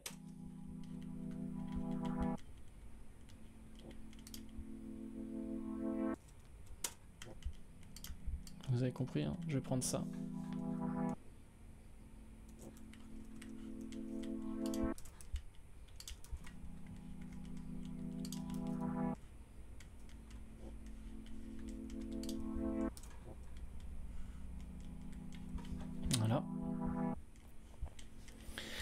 La musique, hein, c'est quelque chose qui nous éclate et qui nous donne envie. hein. Moi, je pourrais plonger la tête baissée dedans. euh, je peux vous assurer, les amis, c'est euh, vraiment top. Donc, quand vous pouvez vous amuser de cette manière-là et puis créer des samples, moi, je trouve franchement que c'est vraiment, vraiment, vraiment la classe. Alors, bah, si tu descends en 128 ou en 64, tu n'aurais plus de décalage quasi. Bah oui, bah bah, effectivement. Effectivement, euh, t'as as tout à fait raison. Après, le but, moi, c'était pas. Enfin. Je, je suis pas là à vouloir optimiser une session ou vouloir vous montrer en fait une session de travail. J'essaye juste de, démystifier un petit peu euh, ce qu'on pourrait croire de complexe alors que ça l'est pas. Je pense que euh, ce type de, machine, c'est- vraiment en fait des machines qu'il va falloir euh, apprendre à dompter avec le temps et, euh, et ça vient finalement. Euh, voilà, apprendre à jouer avec, euh, euh, utiliser finalement les plugins, etc. Là maintenant sur une session où euh, je compose, donc là on va pouvoir voir maintenant avec la guitare et la basse. Euh, moi j'enregistre, je me pose pas la question si j'ai une latence ou pas. Après c'est vrai que quand je travaille au clic, bah, à des moments donnés je peux voir, alors du coup je vais mettre de la compensation, etc. Mais bon, euh, c'est des choses qui sont, euh, je dirais presque, enfin c'est normal finalement euh, quand on optimise une session euh, bah, d'avoir parfois voilà des problématiques qui sont liées à, à la latence. Après voilà, je vous montre comment je travaille avec. Euh, d'une façon très, euh, très très très très très simple. Après, on aurait pu engager une session sur Studio One où effectivement on va euh, choisir sur chaque bah, piste, voilà des IFX bien dédiés, etc. Et puis créer un mix bien spécifique. Mais je pense que au travers de de, de l'interface, enfin cette interface audio, elle est vraiment faite pour euh, toute personne qui euh, souhaite euh, se mettre à la musique et avoir quelque chose qui est vraiment d'une qualité optimale avec laquelle on va pouvoir faire de tout. Je, pour, ne pas citer, pour- enfin, pour ne pas citer mes confrères, mais Fa- Fabrice Chantôme, c'est quelqu'un qui travaille avec cette interface et qui n'a aucun problème pour enregistrer un groupe. Alors bien sûr, il va passer par des problématiques euh, de- du fait qu'elle est compacte, du fait qu'il est peut-être pas suffisamment d'entrée et sortie. Mais quand on sait se servir finalement des armes qu'on a, on n'est pas obligé d'avoir un- une, machine qui est euh, énorme. Et au-delà de ça, euh, l'interface audio Zentour vous permet de faire la même chose que dans une grande station. C'est juste le nombre d'entrées qui va, qui va être différent. Quoi. Donc vous allez avoir votre grid routing, ce qui est tout à fait normal. Euh, vous allez pouvoir avoir... euh, ouais, donc vous avez votre grid routing. Et vous avez, euh, voilà, vous avez les préamps, vous avez une, une horloge en fait qui est top, hein, qui est digne des grandes. Moi, je fais pas de différence entre l'Orion Studio Synergy Core et un Zen Tour Synergy Core. Donc voilà, ça, à ça après, c'est tout à chacun. C'est chacun qui, euh, euh, voilà, qui détermine comment il va travailler, ce dont il a besoin.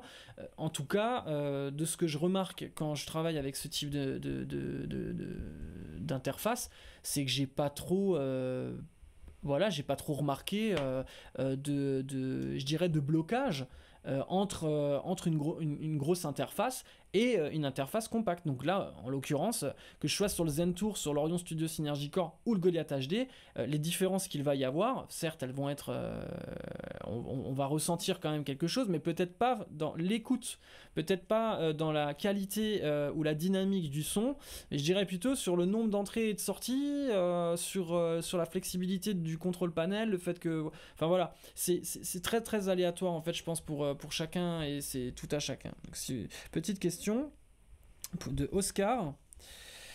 Alors. euh, quand j'utilise les AFX en plug dans Ableton, quand je fais mon export, il ne prend pas en compte mon AFX to DAW. Ah, ok. Alors déjà, est-ce que tu es, alors, est-ce que tu es sur le Zentour Synergy Core Est-ce que tu es sur le Zentour normal? Est-ce que tu es sur une autre carte? Euh, Ouais, on peut, on peut, on peut en parler. On peut en parler. Alors, il y a, il faut, il faut aussi comprendre une chose. Bon nombre de personnes oublient à un moment donné, quand on utilise des instruments, euh, des VST par exemple, vous utilisez des VST, vous utilisez des reverbs, des reverbs qui sont à type plugin, euh, vous allez utiliser euh, donc plein de plugins, et je parle même pas juste de la FX2 DAO, parce qu'à FX2 DAO, effectivement, enfin pour ceux qui le savent ou pas, je ne sais pas, Zentour 1, ok Oscar, je vais répondre. alors, peu importe la carte dans que, vous avez, enfin l'interface, pardon, peu importe l'interface que vous avez, l'interface audio, même euh, de toute marque, hein, on parle pas juste du. Voilà, toute marque. Peu importe l'interface, peu importe euh, le, logiciel que vous utilisez, euh, donc la DAW, le STAN, hein, la station audio que vous utilisez, peu importe laquelle, peu importe les plugins, quand vous allez faire 3, 4, 5, 6 pistes, 6 pistes, que ce soit audio ou MIDI, dès lors où vous allez exporter votre, votre son et que vous faites un export, si vous exportez comme ça votre son, c'est-à-dire vous avez fait 8 pistes et vous voulez faire un export du master, eh bien, il faut savoir qu'il y a un bounce qui va se faire, c'est un print, euh, mais le print, il, va se faire d'une manière où tous les plugins et tous les instruments que vous utilisez, eh bien, ils vont jouer. Donc euh, normalement vous êtes censé euh, voilà avoir d'un coup voilà une surcharge du processeur, enfin c'est dur à sortir etc. Donc généralement ce qu'on fait c'est qu'on fait un print. Par exemple, euh, on, envoie tout ce qu'on a imprimé donc dans son logiciel, on l'envoie dans un, dans un bus euh, pour pouvoir le printer. Et après, on ne sort que, le, que, le, que ce qu'on vient de printer, que ce qu'on vient d'imprimer, et non pas tout ce qu'on a utilisé euh, avec tous les plugins, etc. Parce qu'il peut y avoir des altérations. Il peut, je dis pas qu'il y en a, mais je dis qu'il peut y en avoir. Et principalement, pour être honnête, sur, euh, sur Ableton, j'ai déjà rencontré la difficulté où euh, je fais quelque chose qui est super, qui sonne correctement, et puis à un moment donné, quand je vais l'exporter, ça ne fonctionne pas comme je voudrais. Parce que ben, c'est un logiciel pour du live, ça s'appelle Live Ableton, c'est pas pour rien. C'est pas forcément euh, voilà, une, une, station qui vous permet de pouvoir faire des mix qui sont engagés. Pour ne pas citer tous les groupes, voilà, mais moi je vois souvent sur l'univers studio, pardon, euh, que euh, voilà, je, vois souvent finalement dans, le, dans, dans, dans, les groupes, l'Univers Studio ou Planet Home Studio, qu'on a euh, des, des, personnes qui disent bon ben voilà, c'est complètement différent. D'engager une session sur un Cubase, sur un Zentour, sur un pardon sur un sur un Studio One et sur un Pro Tools c'est complètement différent. Donc il y, a des différences en fait entre, entre tous, les, tous les DAO. Alors je trouve dommage que le Edge Solo paraît dans si peu de vidéos. Il était en vente ici, mais il y a presque rien à son sujet. Euh, de Alain. De Alain. Alors, euh, Oscar, je te remercie. Et puis euh, n'oublie pas, tu peux venir aussi dans le groupe Antelope Audio francophone pour pouvoir récupérer des informations et euh, dans le cas où tu peux rencontrer des problèmes, on, t'aidera. Il n'y a aucun souci. Et puis c'est bon enfant, on s'éclate tous. Euh, voilà, moi je vois d'ailleurs qu'il y a des gens qui sont sur le live qui font partie de ce groupe et que je salue, comme Guillaume que je viens de voir. Alors pour répondre à Alain, je trouve dommage donc que le Edge Solo paraît dans si peu de vidéos. Il était en vente ici, mais il y a presque rien à son sujet. Alors, il faut savoir que. Alors, je vais pas. Euh, je vais essayer de rester très simple. Hein. Bon. Depuis que j'utilise des, micros euh, avec les émulations de chez, de Antelope, moi j'utilise que ça. Je, laisse dans le fourreau euh, plein, de, plein de micros. Je peux même dire qu'il y a des micros qui sont, j'irai même jusqu'à là, hein, pour pas ne parler que de, des micros Antelope j'ai euh, des types euh, voilà très simples euh, un SM SM5 enfin alors j'ai du Super 55 j'ai un SM57 du SM58 des Shure enfin du Shure Beta 52 etc juste pour vous dire que voilà j'utilise aussi à côté des micros super luxe et ben je préfère mes micros super luxe que les, les Shure et que, que j'utilisais avant pour, pour, pour mes batteries mais après, c'est peut-être aussi parce que ben voilà, j'utilise ci ou j'utilise ça, des AFX, etc. Et donc du coup voilà, ça sonne d'une certaine manière. Il y a pas, on n'est pas là pour donner des règles, même si on sait que quand on est un son, on donne des règles. on va définir des règles, on va donner des, des voilà, des, mm, des techniques de prise son, qui, certaines qui fonctionnent, d'autres qui ne fonctionnent pas, etc. Mais ça dépend toujours de votre workflow. Donc, bonjour Nicolas, cool cette vidéo, merci. mais je t'en prie, il n'y a aucun souci. C'est offert par Univers Son. et je pense que la démarche, elle est justement pour répondre à Alain. Toi, Alain, euh, je ne sais pas comment tu, euh, comment tu vois la suite, mais euh, voilà.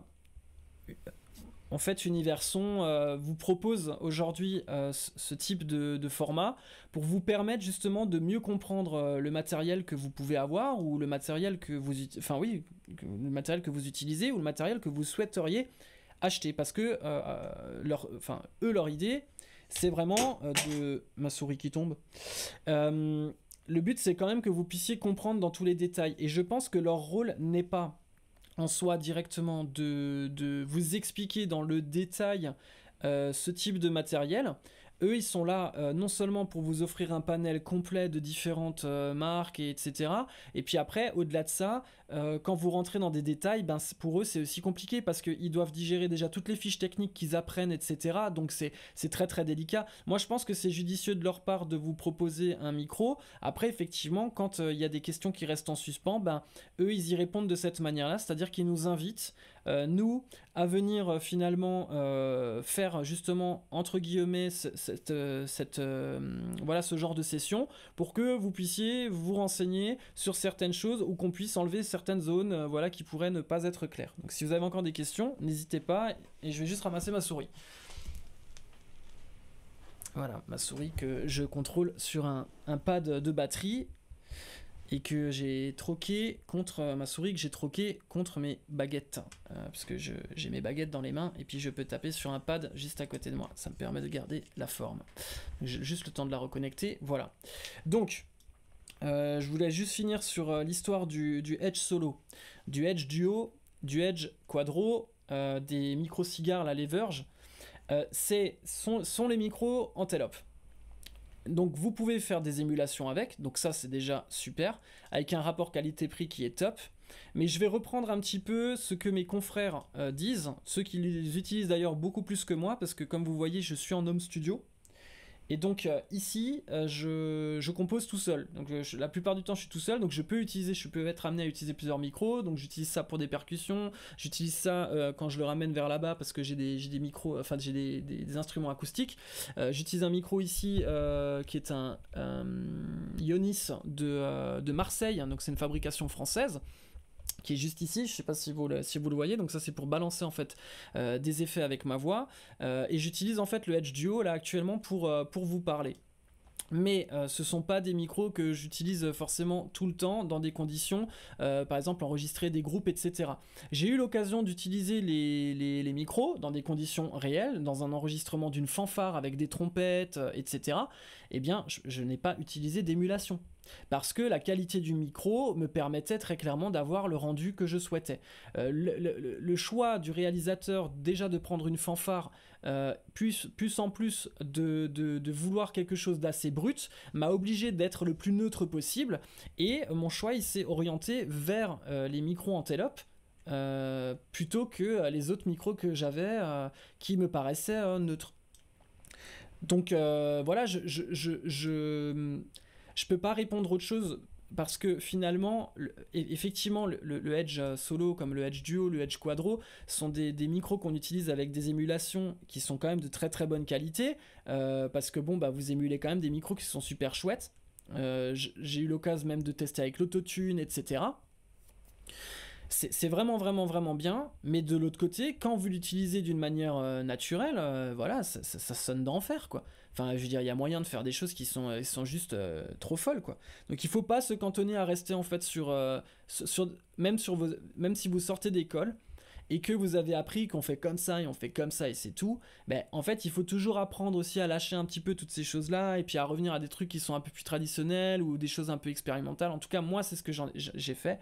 Et pendant justement cet enregistrement de la BO du film de Départ en fanfare, ben c'est exactement ça, c'est-à-dire que ben j'ai pris des micros, euh, je les ai mis dans la pièce euh, de tournage, là où il y avait la fanfare qui jouait, donc ça résonnait. Enfin voilà, il y avait du, c'était très boomy comme son, c'était très euh, euh, compliqué et délicat à gérer. Mais voilà, avec l'équipe, euh, donc il y avait, voilà, j'avais trois assistants, il y avait Philippe, Claudio, Manon. Ça s'est très très bien passé. On a récupéré quelque chose qui était vraiment top. Il n'y a pas eu de problème de phase, etc. Donc voilà, finalement, l'enregistrement au brut était top. Et en plus de ça, bah, vous voyez, le fait d'avoir enregistré en brut, ça a permis à la personne qui a masterisé, parce que moi j'ai fait qu'enregistrer, j'ai fait le recording et le mixage euh, post-mixage, on va dire, parce que finalement, euh, ce qui s'est passé, c'est qu'il y a eu une deuxième série de mixage et une série de mastering euh, qui ont été exécutés par Fabrice Chantôme, pour pas, pour pas le citer, et lui, il a pu revenir en arrière finalement sur ma session. Et pourtant, moi j'avais choisi des micros aussi, parce que bon, bah, pour le fun, j'avais quand même envie de me faire plaisir et je me suis dit que c'était peut-être un bon choix. Bah, le choix que je trouvais sympa quand j'ai commencé, à enregistrer, bah, il est resté comme ça jusqu'à la fin. Et quand j'ai écouté les bandes chez moi, bah, ça m'a pas plu. Donc, euh, vous voyez, comme dit, prendre les choses en brut. Et quand j'écoutais le brut, forcément, ça me plaisait. Fabrice Chantôme a fait exactement la même chose, hormis que bon, bah, il a quand même testé voilà certaines choses. Il a rétabli, il a mis dans l'ordre parce que voilà, il y avait des alignements euh, quand vous prenez plusieurs micros qui sont à différentes positions. Enfin voilà, je sans trop rentrer dans, des détails un peu trop complexes, mais quand vous utilisez plein de micros ensemble, il peut y avoir des altérations et des problèmes parce qu'ils ne sont pas euh, ni à la même hauteur, ni à la même distance, etc. Donc voilà. Tout ça pour dire que les micros sont bons, même quand vous les utilisez au neutre, vous n'êtes pas obligé d'utiliser des émulations. Et euh, quand il, s'agit finalement de l'utilisation, il y a des tutoriels qui sont sur la chaîne euh, Antelope. Euh, le, le, Antelope Audio francophone, le groupe que vous trouvez sur Facebook, euh, s'amuse à faire régulièrement des tutos. J'en ai fait. Euh, là, il y a Bouzouk qui en a fait, donc qui est Roland LG. Il y a Baba Orum qui en a fait. Je sais que il y a Sébastien qui est sur le point aussi d'en sortir. On a un Alexis qui en fait aussi. Donc finalement, on est une communauté aussi derrière ce, ce, matériel et on pousse un petit peu à la démocratisation de ces outils parce que voilà, je suis pas le seul à trouver que c'est, c'est quand même assez sympa tout ce qu'on peut faire avec. Et là encore, j'ai pas parlé de la qualité de restitution. Voilà, donc je ne sais pas si ça répond à vos questions. Le magazine Planet Home Studio aimerait proposer des essais de matériel pour pouvoir faire découvrir à bon nombre d'entre nous ces micros. Oui, alors j'ai eu la discussion la semaine dernière parce que euh, quelqu'un a comparé en fait les micros avec d'autres micros. Je dirais juste simplement que ce n'est pas la peine de vouloir faire des comparaisons. Je pense que vous avez tous des oreilles et il faut tester. Pour moi, le, le mieux c'est de tester. Et je comprends, je comprends, on est tous dans ce désarroi de se dire ben, on peut pas le tester forcément. Euh, on est obligé de, euh, voilà, de passer à l'achat pour pouvoir euh, faire ses propres essais, et puis c'est compliqué parce que pas, on, a peur parce que peut-être on, on, va, on va pas, vouloir garder finalement le matériel qu'on a acheté, on, on veut vouloir à un moment donné faire demi-tour sur ce qu'on fait, mais quand on fait un choix, on fait un choix, il faut s'engager, c'est une question d'engagement, et ça, ça n'a rien à voir avec le son, donc comme je vous ai dit, pour moi, peu m'importe. quand je sais que ça sonne et j'ai fait confiance, ben, je les ai pris, et voilà, et après je me suis aussi acclimaté au matériel que j'avais parce que euh, j'avais peut-être pas forcément le budget de pouvoir me racheter d'autres micros. Mais euh, quand on les compare après, quand on a un budget, qu'on s'achète des vrais micros qui sont super bons et que finalement à la fin on est déçu parce que c'est absolument pas ce qu'on veut, bah de un on se dit qu'on aurait peut-être pu être mal conseillé et puis euh, de deux ben, bah de deux, ben voilà, hein, c'est une question d'engagement. On s'est engagé pour l'acheter, on pensait que ça allait être mieux, et puis finalement non. Donc, faut aussi accepter à un moment donné qu'on peut faire des erreurs, ou alors que peut-être, euh, voilà, enfin, en, tout cas, voilà, ça c'est ma façon de de, de, de, voir les choses par rapport à un choix, par rapport à un engagement dans quelque chose. Là, euh, pour revenir maintenant sur. Euh, alors, j'espère que j'ai répondu sur l'histoire des, des, des, des micros. Je vais quand même revenir euh, très vite sur euh, l'histoire du partager, parce que si vous partagez euh, cette, cette vidéo, vous pouvez gagner justement des micros en mettant... Alors, si vous partagez la vidéo, en fait, le, but c'est de la partager, mais c'est aussi de mettre le hashtag Zentour Synergicore. Ne n'écorchez pas le, le, hashtag, parce que c'est grâce au hashtag que certainement ils vont, ils vont vous retrouver. C'est offert par Universon. et il y a aussi donc Sonovante. Il faut donc pas oublier non plus que euh, vous avez aussi, vous pouvez bénéficier d'une réduction à hauteur de 50%, je crois, si mes souvenirs sont bons. Je ne sais pas si on peut me, euh, me, confirmer ça. Mais donc voilà, vous avez une opportunité, euh, c'est de pouvoir faire des économies pour l'achat de ce type de matériel. moi, je vous proposerais de faire. donc voilà, on, a, on fait une petite pause, deux minutes, le temps que je puisse boire de l'eau. Et euh, sur les commentaires, vous allez pouvoir euh, bah, me noter vos questions si, euh, si besoin. Et on, va, on va tester finalement la guitare et la basse qui sont juste derrière moi, juste sur, sur finalement une boucle qu'on vient, de, vient de faire. Et on va pouvoir entendre en fait la différence entre un instrument qui se joue au travers des effets de, de, l'interface audio et si on si on n'utilisait pas finalement ces effets. Et je pense que là, euh, vous allez vite comprendre pourquoi c'est une arme redoutable cette interface euh, la Zentour Synergy Core de Antelope Audio.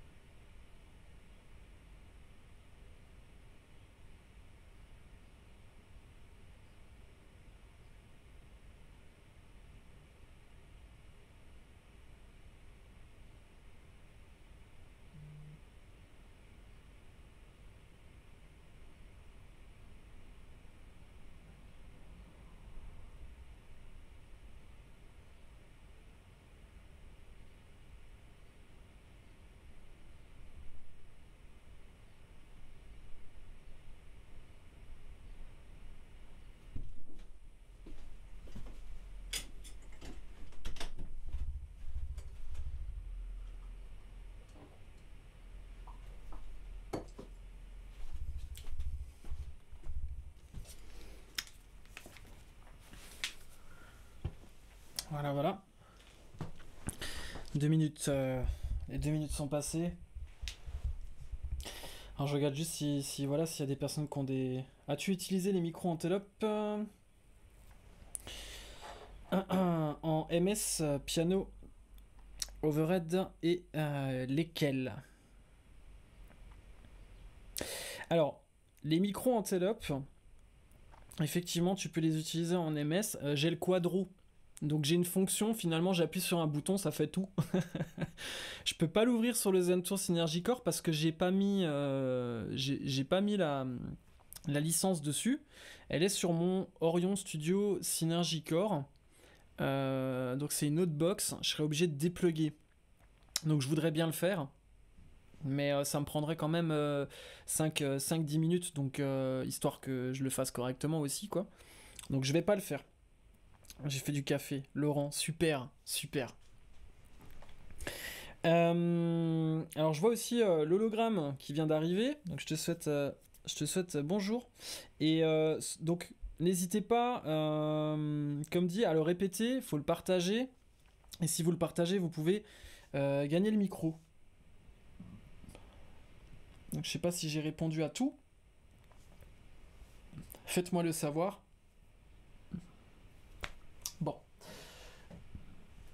Bon, allez. On va, euh, on va aller sur la guitare. Ça, ça m'intéresse. Hop là. Alors, déjà, on réécoute ce que j'ai là.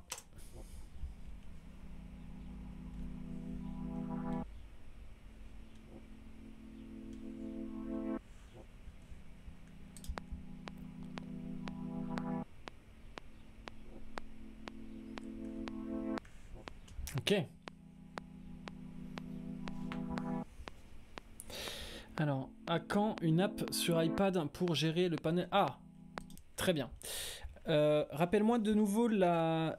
Tu as. Euh, attends, Oscar, tu as. Je vais remonter, ça sera beaucoup plus simple. Tu as le Zentour 1. Mais il existe en fait une, app euh, pour pouvoir le, le, contrôler. Après, c'est pas que ça a été mis de côté. Mais il n'y a, y pas beaucoup de gens finalement qui utilisent ça. Et je pense que du coup, il n'y a plus trop de je crois que c'est pas, euh, c'est pas trop. Euh, c'est pas trop utilisé quoi finalement et mais, mais elles sont là hein. elles sont là les apps hein. après euh, je pense qu'on peut aussi imaginer bientôt d'autres ouais d'autres choses qui peuvent être qui peuvent arriver par exemple alors au-delà de l'optimisation avec, avec cette, cette, application qui contrôle, aujourd'hui on voit sur certaines interfaces des choses qui viennent type contrôle Android, etc. Je pourrais, euh, juste pour les préamps, tu peux gérer les préamps, il euh, y a une appli. Oui, oui, exactement, Baba, il y a, une appli, tu peux gérer les, les. Après, tu vas, toujours, euh, tu vas toujours avoir besoin finalement de, du réseau pour pouvoir les, les, contrôler. Par contre, j'ai déjà l'occasion de... Je, pourrais vous le montrer, mais là, je vais pas le faire parce que franchement, ça, risque de me contraindre sur beaucoup de choses. Mais ce que je voulais dire par là, ce que vous pouvez faire, c'est vous allez programmer finalement votre carte, vous allez mettre les AFX que vous voulez, et euh, si vous branchez après votre carte sans l'ordinateur, ça fonctionne. Donc en gros, ça veut dire que je peux brancher ma basse euh, elle est réglée avec des AFX et tout, bah, ça sonne euh, du feu de Dieu, et ben je l'enlève de, de, mon ordi, je peux la booter, donc la démarrer, et je peux aller sur des enceintes ou sur un câble ou voilà, ou sur un ampli, et euh, je peux jouer en mode standalone, ça fonctionne. Après, c'est pas forcément fait pour, mais voilà, vous pouvez clairement le faire. Et donc la fonction que vous avez sur un iPad, c'est la fonction que vous avez sur les autres ordi, vous voyez en fait votre interface en réseau. D'ailleurs, vous voyez derrière voilà, là vous voyez derrière, j'ai un, écran. En fait, cet ordinateur, il est sur le réseau, et puisque mes interfaces audio sont sur le réseau, eh bien je peux les piloter via cet ordinateur-là. Ce qui me permet d'avoir un, écran pour euh, la DAW, donc euh, le, voilà, le logiciel bref de son. Euh, j'ai mon écran d'ordinateur pour l'instrument que j'utilise. Derrière, j'ai mes contrôles panel avec mes AFX, et voilà, le tour est joué. Donc euh, du coup, c'était vraiment pour faire ça. D'ailleurs, euh, encore une fois, ça fonctionne aussi pour Gobler. Je sais pas si vous connaissez Gobler avec euh, le spectre, etc. Vous pouvez en fait utiliser une adresse IP pour pouvoir l'afficher sur un autre écran. Et j'ai un écran de l'autre côté de la pièce sur lequel je peux l'allumer et je peux mettre en fait le spectre par exemple de mon de, de Gobler sur le coup et je vais pouvoir voir finalement où j'en suis avec mes niveaux donc euh, voilà, je peux mettre mes spectres d'un côté, je peux mettre mon contrôle de l'autre. En fait, euh, voilà, vous avez, c'est le but hein, finalement de ces applications, d'avoir de, d'avoir plusieurs écrans. Hein. Studio One fait aussi une fonction qui est vraiment bien où vous pouvez utiliser tous vos plugins. Il faut juste euh, voilà créer créer les choses. Juste pour les préamplis, pour gérer chacun ses mix lors d'un enregistrement, par exemple 4 zikos et chacun gère son mix. Alors, ça peut être intéressant. Après, attention tout de même à l'utilisation de ce type de matos. Euh, je crois pas d'ailleurs que vous pouvez faire des multi-sessions euh, remote euh, sur, une, sur une carte, quoi. Vous pouvez pas l'utiliser à 20, quoi. C'est pas possible. Donc il faut qu'il y en ait un qui est, le, qui est, qui appli et qui, qui, gère un petit peu pour, pour, pour tout le monde. Voilà. Donc j'espère avoir répondu à vos questions encore une fois. On y retourne, on essaye la base parce que sinon on n'avancera pas là. Ou alors c'est peut-être moi qui est long, je sais pas. Je suis long, je suis lent, je sais pas, dites-moi. Alors je vais juste reculer un peu euh, mon, siège. J'espère que vous me voyez toujours. Je pense que oui, ça sera bon. Euh, à la limite, euh, vous, vous n'avez pas besoin de me voir. Hein. On va mettre de nouveau mon écran d'ordi. Voilà, ça c'est bien aussi. Et puis, on va commencer avec la basse. Donc la basse, je l'ai mis... alors vous n'allez pas le voir, mais c'est là. Hein, je l'ai mis ici, dans Guitare 2. Je l'ai mis dans Guitar 2 et ce qu'on va faire, c'est on va rentrer dans la carte et on va voir ce que ça fait.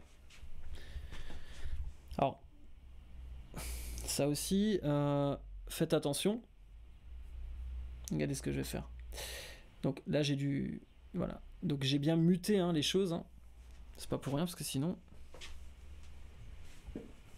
Rien ne va plus. Regardez. Hop. Voilà. C'est bien. C'est bien ça.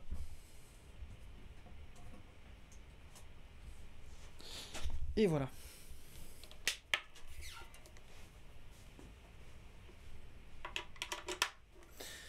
J'ai branché la bête. Je sais pas ce que ça va donner. Hein. Déverrouiller les pattes là. Euh, j'ai pas joué depuis deux jours là. Alors.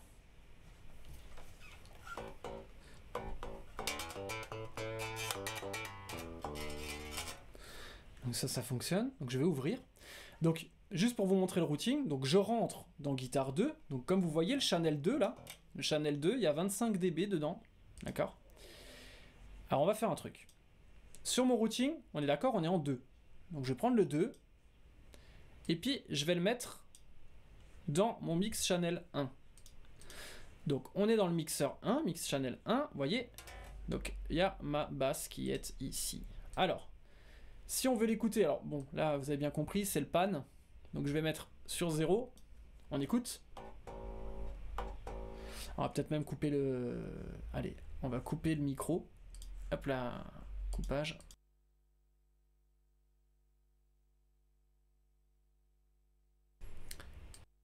Je crois que ça se passe de commentaires, on n'entend rien.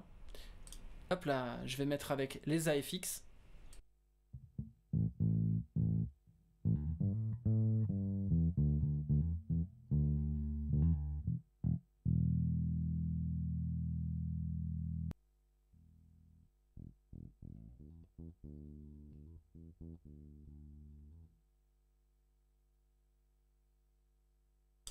Sais pas si vous avez capté, mais euh, c'est énorme. On va regarder ce qui se passe ici. Alors, le routing me dit bien, alors il me dit le 2, si je recherche le 2, je cherche le 2 dans les iFixin, hop là, il est dans le 6. Alors je vais sur mes effets, en position 6, voilà. Donc ça c'est un peu ce que j'ai fait. Donc j'ai mis un Giratech, d'accord? J'ai mis un ampli et un cabinet. C'est pas un toilette. Donc, si je joue, et là je coupe, vous voyez qu'il y a clairement une différence quoi.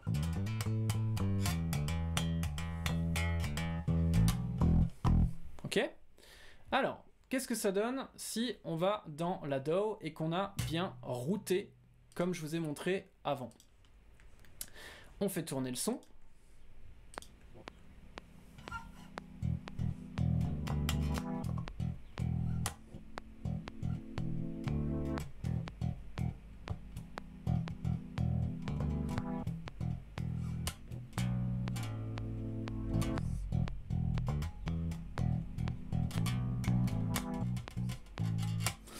On a les AFX hein, dessus. hein.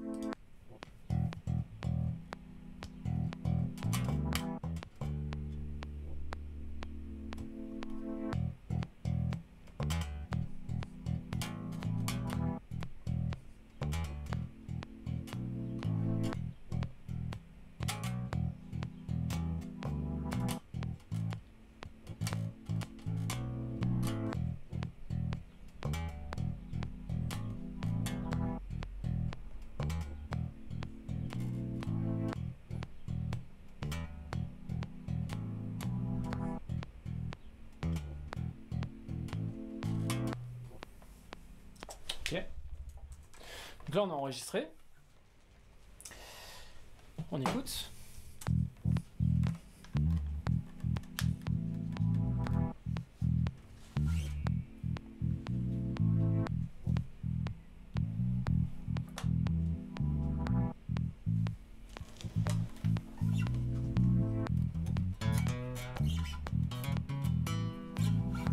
Alors, je vais vous couper encore. euh, on va faire encore une dernière session en coupant le micro. Hein. Ça, vous entendez bien, vous entendez plus, vous entendez plus les cordes.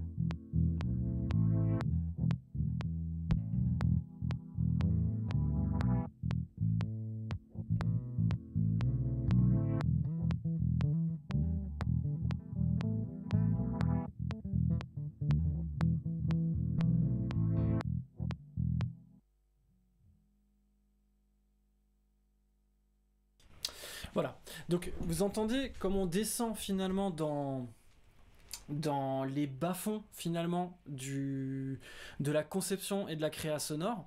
Parce que là par exemple là quand je vous parle en fait on a voilà, on a quelque chose de très aéré on a quelque chose de, de très haut etc là on était sur une conception un peu voilà dans la basse. Et donc voilà on rentre tout de suite dans un mix voilà qui, qui, qui est profond qui est en bas qui est bien dans les bas qu'on entend correctement etc Euh, voilà donc là finalement si j'avais pas mis l'apport des AFX bah, j'aurais pas senti la même chose quoi. Parce que bah, déjà j'avais euh, j'avais un niveau qui était euh, presque inexistant. Exemple euh, si maintenant je, j'imite ce que je faisais en fait à, la, à la basse avant mais que j'enregistrais ce qu'on disait donc le, le préamp sans les sans les donc là j'arrive en 7 cette partie on va, on va virer on n'en a pas besoin donc la partie euh, en 7, elle, arrive, donc c'est aussi la basse, sauf que elle, est... euh, voilà, c'est pas la basse, euh, c'est pas la basse avec les AFX quoi. Donc c'est... Ok je vais balancer ça dedans. Vous allez voir tout de suite la différence.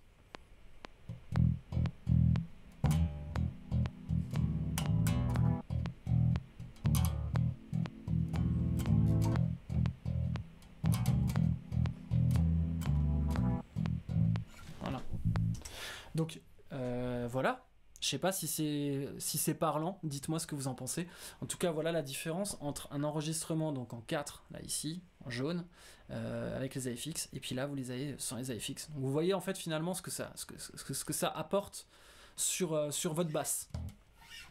Je pense que là on peut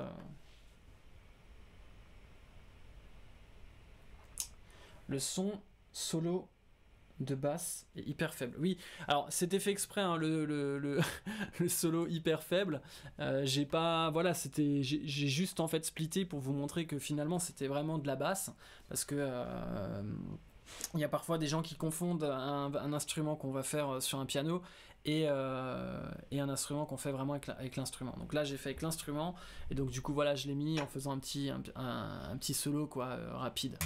Donc là je vais vous montrer la même chose mais avec la guitare. Donc là je peux dépluguer, vous voyez tout ce que j'ai fait, hein, j'ai cliqué, non vous avez pas vu. Hop là, donc là en fait je viens de muter euh, le 6 et, et 2, d'accord? Normal, parce que si je les mets, ça donne ça. Voilà, donc du coup je les coupe, comme ça vous entendez pas le poc. Si vous avez des questions, n'hésitez pas. hein.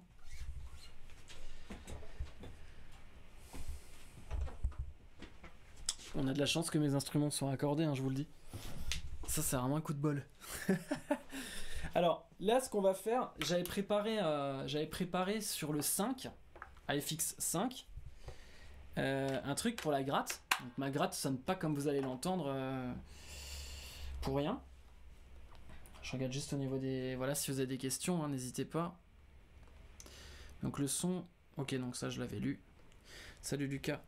Fougard, il y avait Lucas. Donc n'oubliez pas hein, de, partager la session pour gagner les micros avec la mention hashtag Zentour Synergicore. On m'avertit qu'il y en a qui partagent sans mettre le hashtag Zentour Synergicore. Partagez ce live pour gagner les micros, oui, mais mettez la mention Zentour Synergicore, sinon on va pas pouvoir vous tirer au sort. Ça serait dommage. Alors, euh, donc ça c'est fait. Ça c'est fait. Oui, oui, oui, oui, ça c'est fait. Euh, seulement, on va dans la basse. Donc, ce que je vais faire, je vais euh, sortir ça. Hop là. Alors, je vais enlever mon jack, parce que je prends le même jack. Voilà, et je vais mettre en guitare une. Euh, Putain, il veut pas. Avec une main. Voilà, c'est fait. Là. Donc, ça c'est bon. Et on va revenir sur la DAO. Donc, effectivement, ça va dans le 5. Ce que je vous propose, c'est qu'on écoute d'abord le son de ma magnifique guitare. Tac. Donc, je mets le 5. Euh, pourquoi je mets le 5 Non, je mets le 1. je mets le 1 parce que c'est mon préamp 1. Voilà. Et donc, elle est là. Ma guitare, elle est là. Écoutez comme elle sonne bien. Je vais même couper, euh, couper mon micro. Donc là, bien sûr, il n'y a rien, c'est juste ma guitare brute.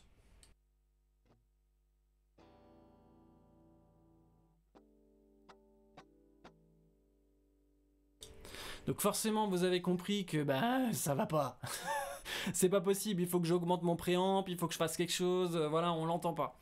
Donc, j'ai fait un réglage dans mes effets ici en 5 pour ma guitare. J'ai un BAE, un 1073. Vous allez me dire pourquoi? J'ai mis un trémolo, j'ai mis euh, une petite tête d'ampli rock avec un cab juste en dessous, un 4x12 parce que je suis un fou. Et euh, du coup, ben voilà, sur le 5, ça donne ça.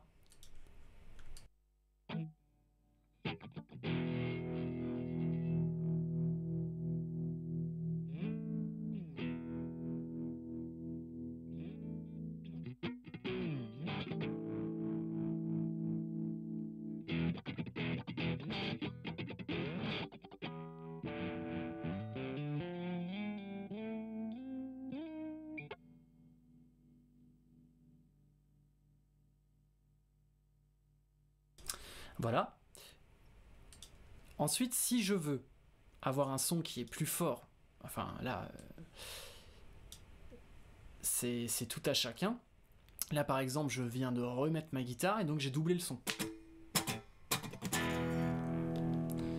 Et donc, si je veux encore augmenter, allez, je peux augmenter le préamp.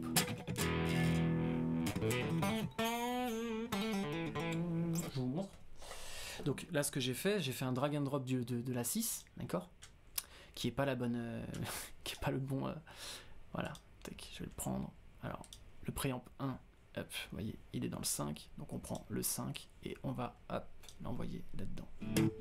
Donc là, forcément, on va avoir plus de son parce qu'on a deux pistes. Vous voyez?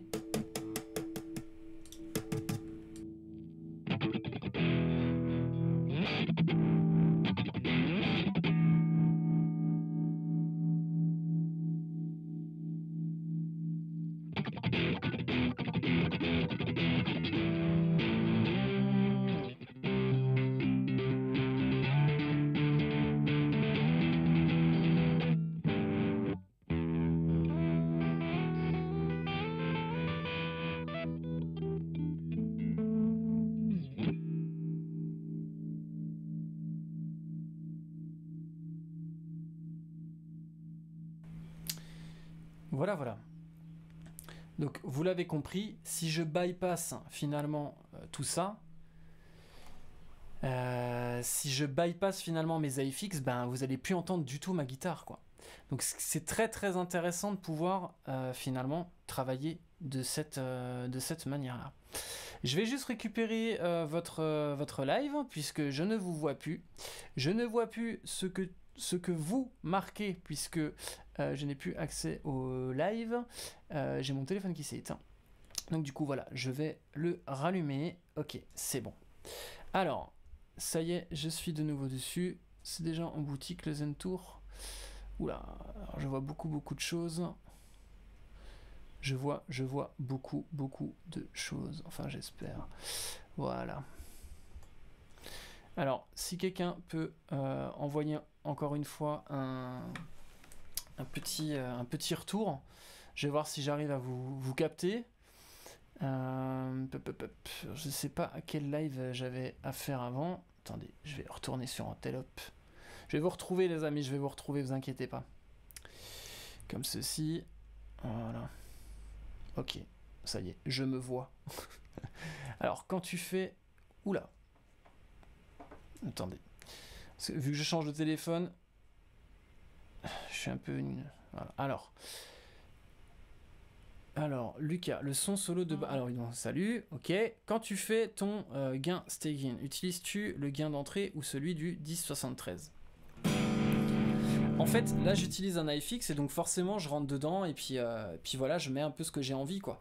Euh, par contre, euh, comme dit, j'avais déjà un peu de gain, j'entendais déjà avant ma guitare. Après, les, réglages, comme dit, c'est très très aléatoire pour chacun. Je sais que je vais pas forcément fonctionner de cette manière-là systématiquement. Ça m'est déjà arrivé de pas faire de cette manière-là, quoi. Voilà, je sais pas si j'ai euh, répondu. Ok, je vais juste voir ce qu'on peut faire. Alors je vais garder une partie pour pas tout garder non plus euh, de, de- de ce que je viens de faire avec la basse. On va essayer de mettre une gratte.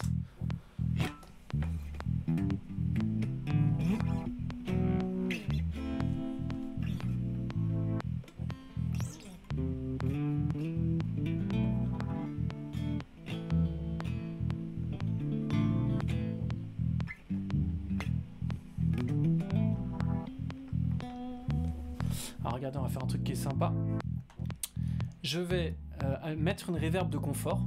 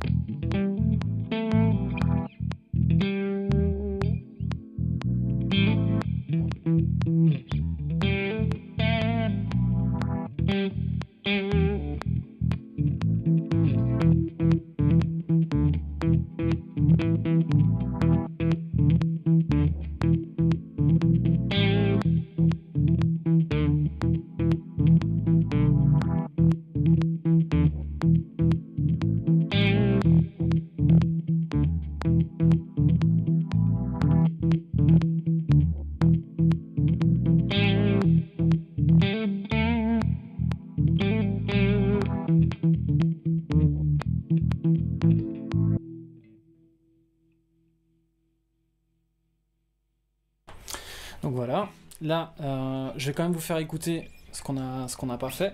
C'est là, vous avez les, effets. Et donc on va bypasser.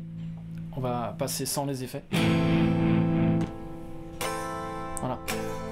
Vous les mettez.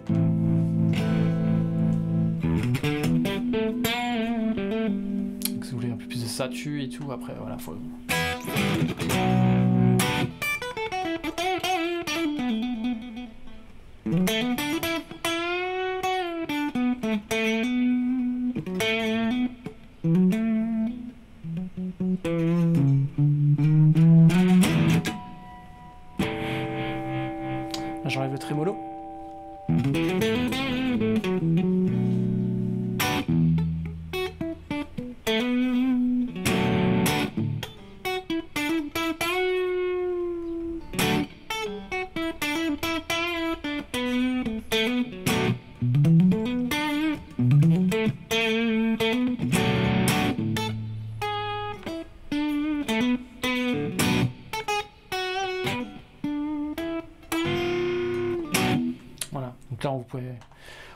Exemple le BAE.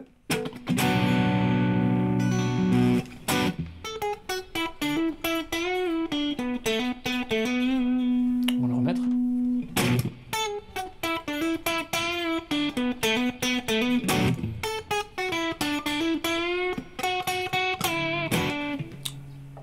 On va enlever le BAE. On va enlever tout ça là.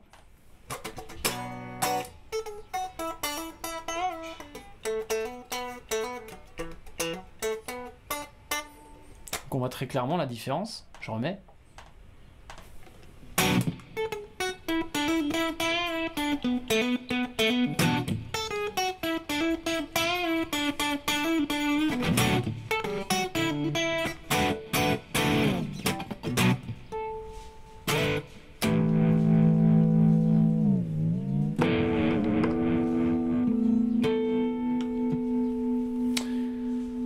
On peut se donner le luxe euh, d'aller mettre, euh, je sais pas, je sais pas. On peut aller mettre une autre modulation, tiens. Je vais mettre euh, petite wah-wah.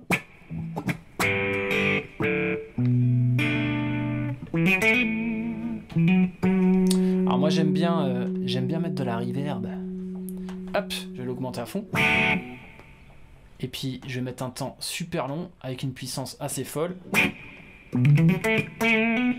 Voilà.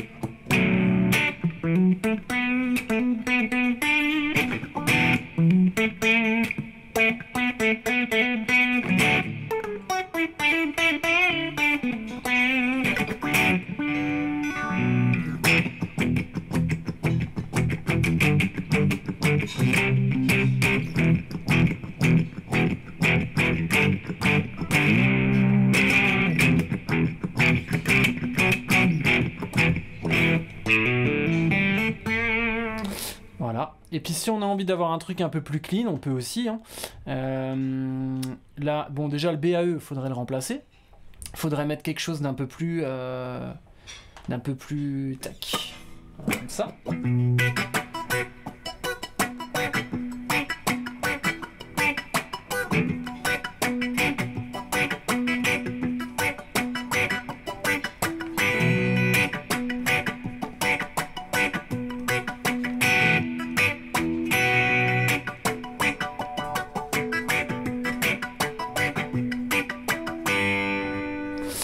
C'est très très harmonique, mais si on veut, euh, faudrait éliminer euh, la tête d'ampli parce que c'est celle qui donne la saturation.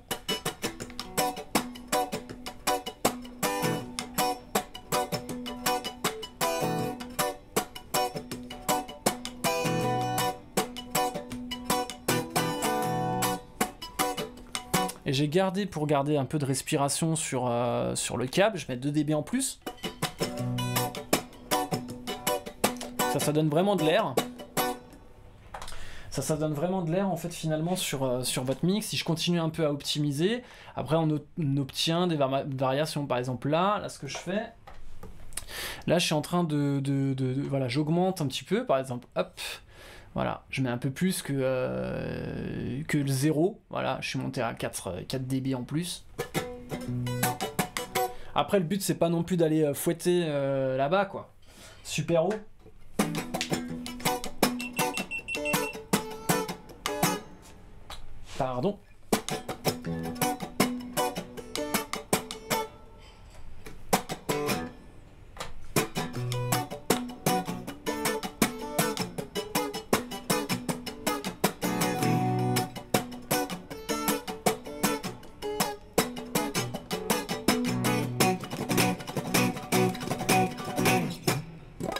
Voilà.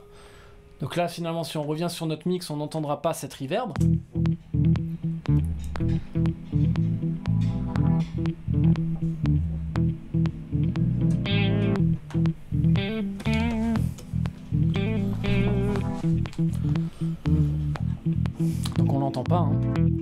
C'est normal parce que c'est une reverb de confort. Donc là, j'ai changé quelques iFix.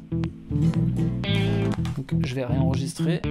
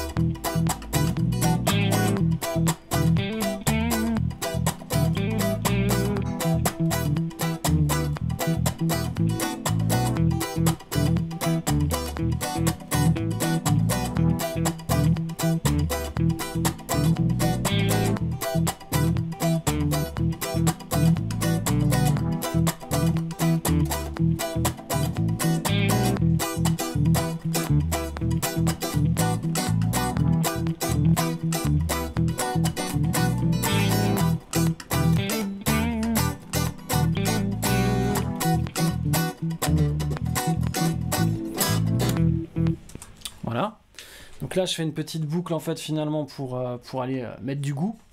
Moi, je dis toujours mettez du goût. Faut mettre, euh, faut mettre du goût dans ce que vous faites. Voilà, donc je vais changer. alors, je vais juste, je vais juste poser ma gratte là.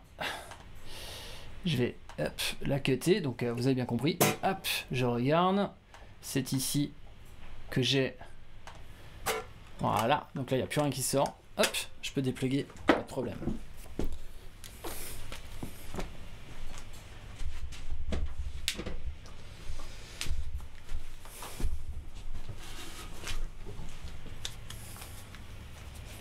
Est-ce que vous avez des questions? C'est le moment, c'est le moment sur les questions. Pendant euh, que je, je regarde ce que j'ai fait. Allez-y, n'hésitez pas. Donc pour moi, ça c'est clairement la troisième partie. Hop, je vais la cutter. Mettre ça là. Hop. N'hésitez pas hein, pour les questions et n'hésitez pas surtout à partager encore une fois pour gagner les micros. Alors, il n'y a pas de secret euh, pour le coup. Si on écoute, on n'aura pas euh, les reverbs qu'on avait avant.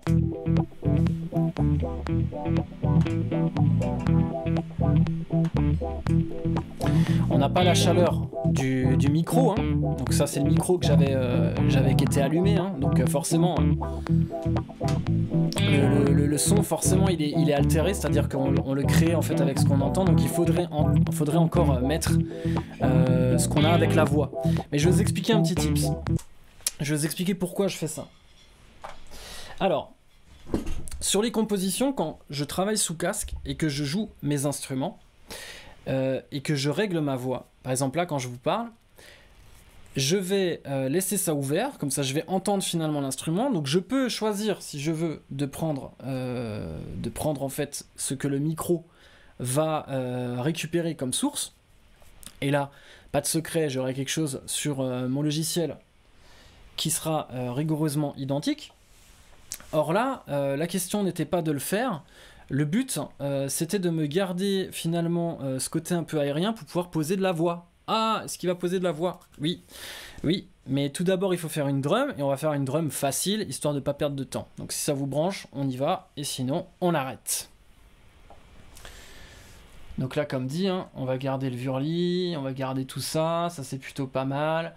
On va pas mettre de, reverb parce qu'on a mis une reverb de confort parce qu'on sait où on va. hein. Euh, là maintenant, il faut aller chercher quelque chose pour euh, en drum, en drum. Alors en drum, qu'est-ce qu'on va prendre Tiens, je vais regarder ce que j'ai. Et n'hésitez pas, hein, faites, euh, faites-moi savoir si vous avez des, questions.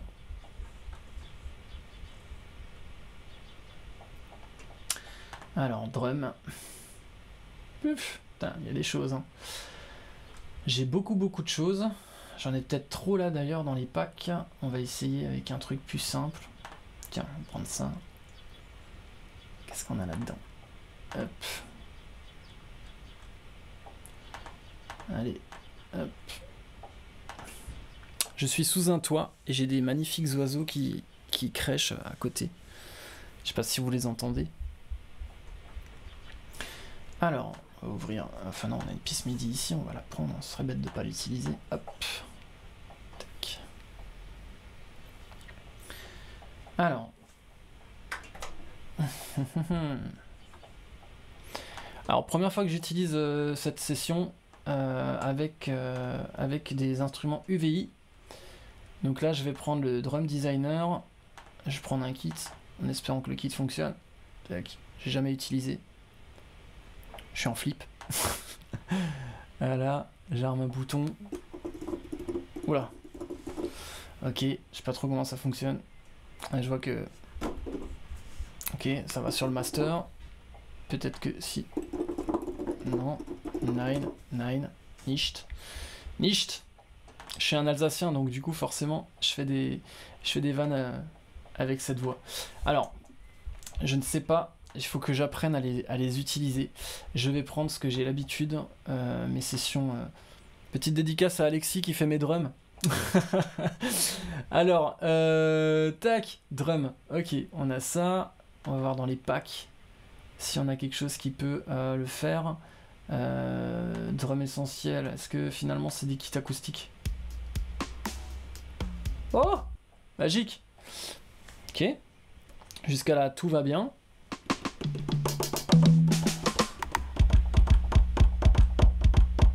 Ouais, ça, ça me plaît. Alors, euh, bah regardez, on va, on va. Alors, je vais prendre un. Tiens. Allez, on va aller plus vite. Hop, je vais chercher un plugin. Alors, je sais pas si mes plugins fonctionnent parce que j'ai fait une réinstall parce que je pensais régler le problème avec mon Ableton et en fait, finalement, non. Je vous dis juste que la mise à jour est mauvaise sur Ableton. Évitez-la, s'il vous plaît. Évitez-la. Voilà. Je mets un plugin. On va écouter ce que ça donne.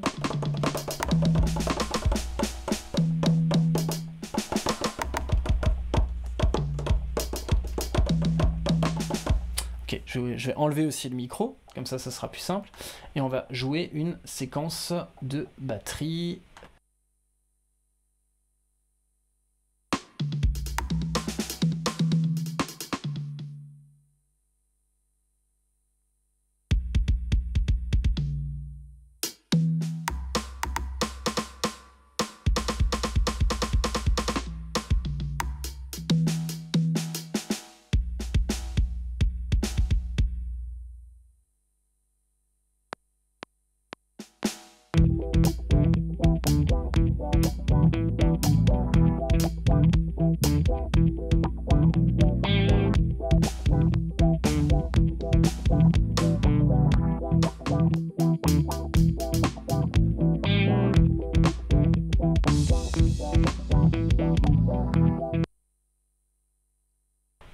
Alors maintenant que j'ai réécouté le son, je me dis, faut que je trouve un truc. Descendre d'un octave.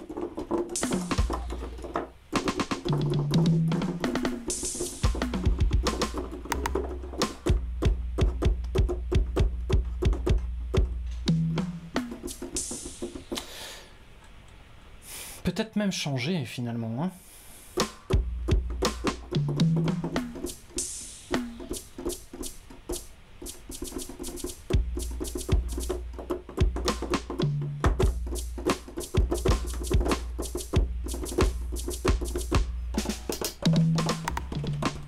Ah j'avais pas ça. Voilà. Ok, allez, on y va.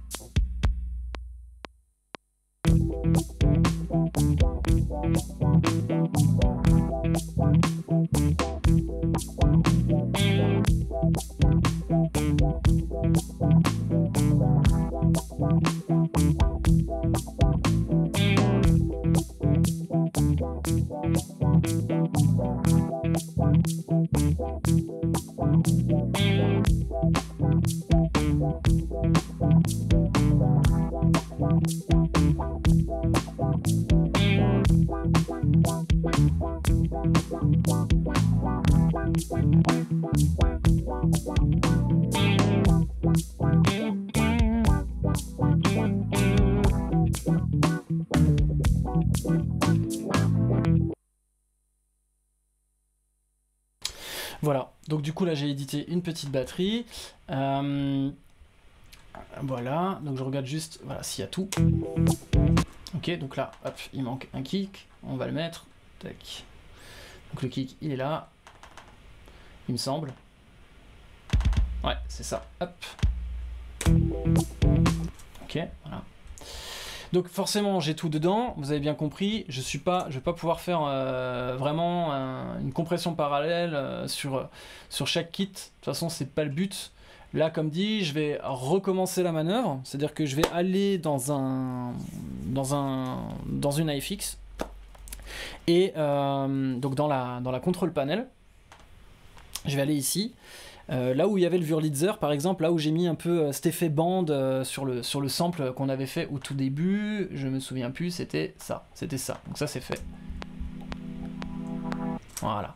Donc là sur le coup, on va aller emmener finalement notre batterie dedans. Donc on va l'écouter en solo. On se rappelle que finalement c'était en 3... euh, ah non, bah on l'a enlevé. Je crois que c'était en 3-4 si mes souvenirs sont bons. Donc on va faire up 3 4 tac et on se retrouve sur la contrôle panel. On va voir. Ouf. Ah bah déjà. Donc elle est bien là. Hein. Donc je vais bypasser. Il y a quand même une différence.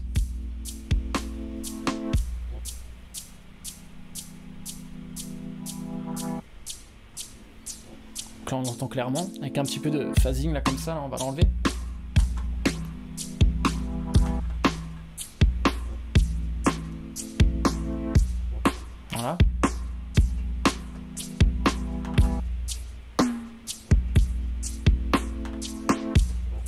Vous l'avez entendu celui-là hein Moi je l'ai entendu. Ça doit être ça. Ouais, c'est ça. Hop, allez, on l'enlève. On n'a rien vu. Et ici, c'est quoi Ouais. Hop là, tac, ça on s'enlève aussi. La magie du numérique, hein.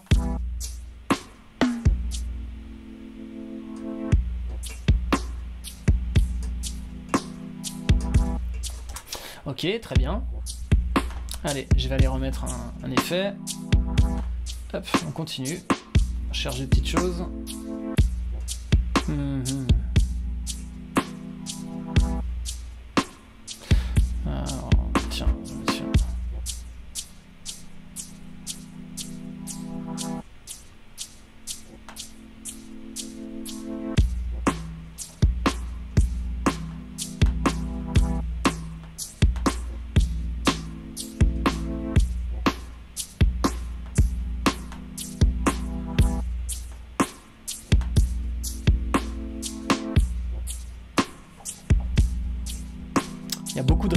Aussi hein, dedans. Hein. On va essayer de calmer ça, calmer ça avec un... Ouf. Pas beau ça.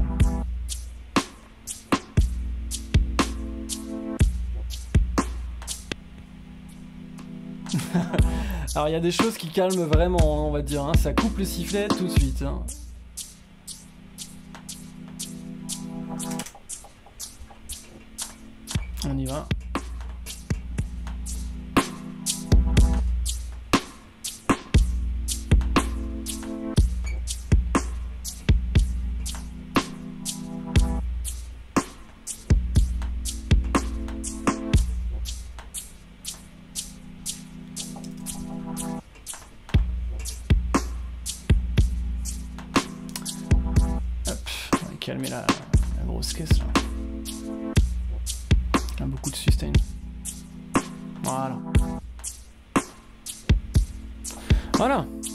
Les oreilles.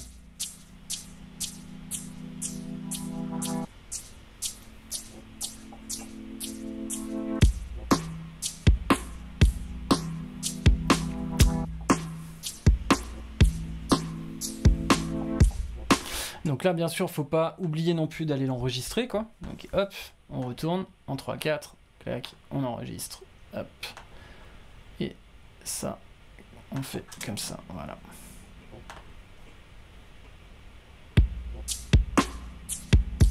On voit que ça sature un peu. Hein. Alors, surtout que surtout qu'on le savait.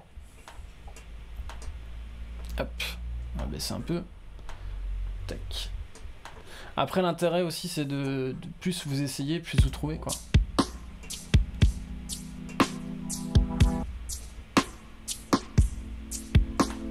Donc moi, je calme aussi ici, hein.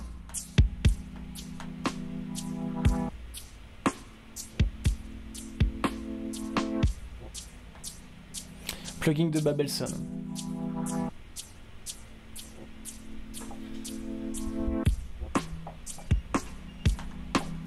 Donc là, on va enregistrer ça.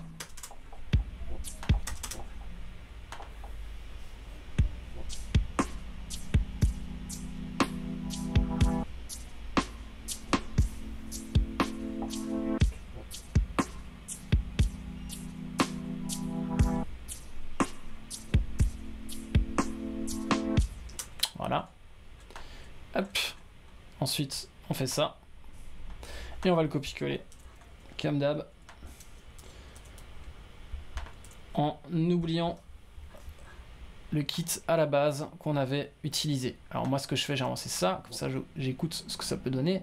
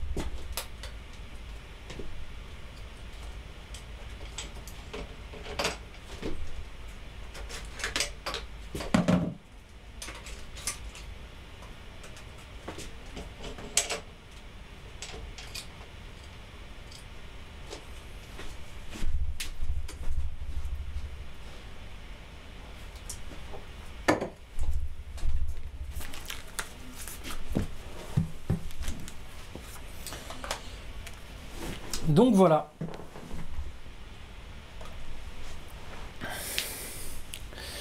J'ai regardé quand même si euh, voilà il y a des, personnes qui qui ont des questions. Alors je sais pas si vous avez des questions finalement sur euh, l'utilisation. Alors je reprends. Faut que je reprenne le bon live. Donc ça fait quand même. euh, Ouais, donc ça fait deux heures hein, qu'on est ensemble, un peu plus de deux heures. Donc on pourrait continuer comme ça, on pourrait voilà faire euh, faire plein plein de choses. Le but en soi, euh, voilà, c'était surtout de vous montrer un peu, euh, voilà. Alors Laurent, ok, reggae, oui, j'ai fait du coup, ouais. Le partage a pas l'air de marcher avec le hashtag. Le partage n'a pas l'air de marcher avec le hashtag. Alors je ne sais pas, Charles. Le but étant de partager, vous faites le hashtag et vous notez Zentour euh, Synergy Core dessus. Voilà, c'est tout. Euh, on va peut-être juste faire encore une voix et puis après on s'arrête. Donc euh, là sur un reggae ça va être un peu... euh, Ok Je vais faire un truc un peu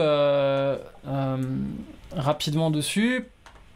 Alors, je vais nexter du coup, vu qu'au début on avait vu comment on fait pour enregistrer les différentes sources. Là je vais, je vais simplement enregistrer la FX. Donc je regarde dans mon routing. Euh, voilà, donc euh, du... Alors je parle dans quoi? Je parle dans le 5, on prend le 5, le 5 va dans le 1, hop, ok, donc c'est la FX in 1, et la FX in 1, je le retrouve ici. Ok, euh, alors FX 1, c'est quoi? On va faire un truc encore plus simple, hop, je vais le mettre dans le comp rec 1. Donc ça veut dire que là, je vais enregistrer juste ici, dans le 1. Tac.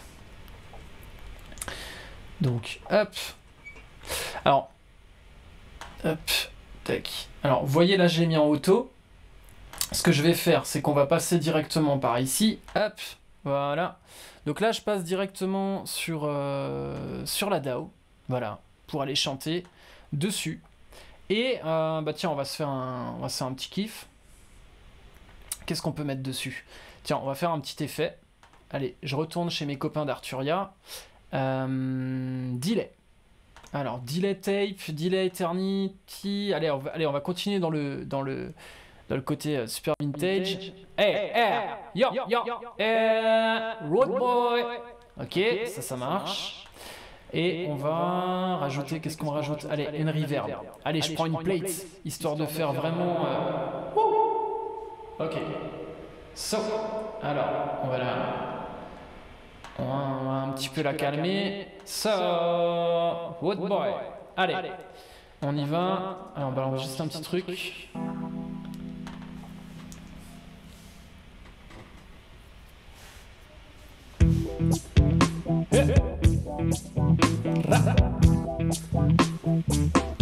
Donc là, on voit qu'il y a un petit peu trop de, trop de gain. Alors, on va descendre un petit peu sur le gain. Voilà. Oh, oh. Encore un peu. Oh. Yeah. On va partir là-dessus. Allez, je rajoute en fait une, reverb de plus. Histoire.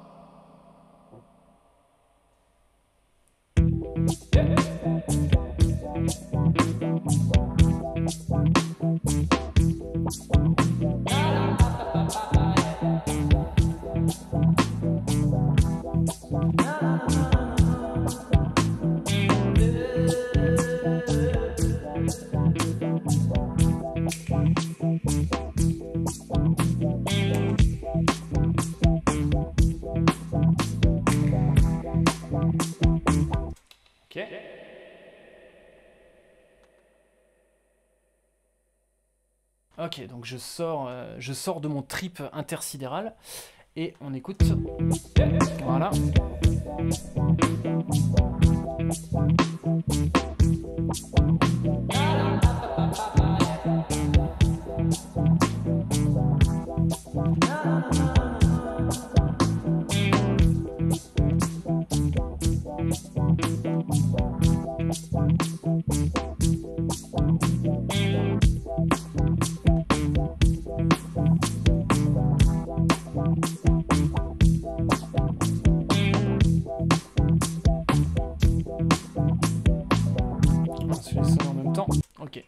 Donc voilà ce qu'on peut euh, éventuellement euh, faire.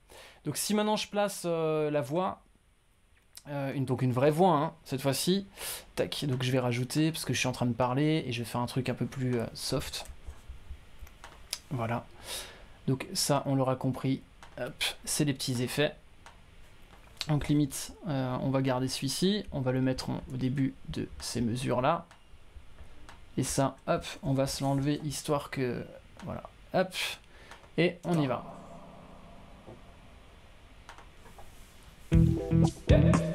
Bah oui, regarde autour de nous ces bêtes, si savaient à quel point ma main dans la leur, je les emmènerais. Parfois brutal ou plutôt perdu. Absurde de le croire, mais c'est vrai, je change parfois. Étrangement, mais mettant une angoisse au couvert au cœur sans même me rendre compte, peut-être une erreur. Dire ce qu'on pense est en ce moment mon élan à écrire quelques lignes.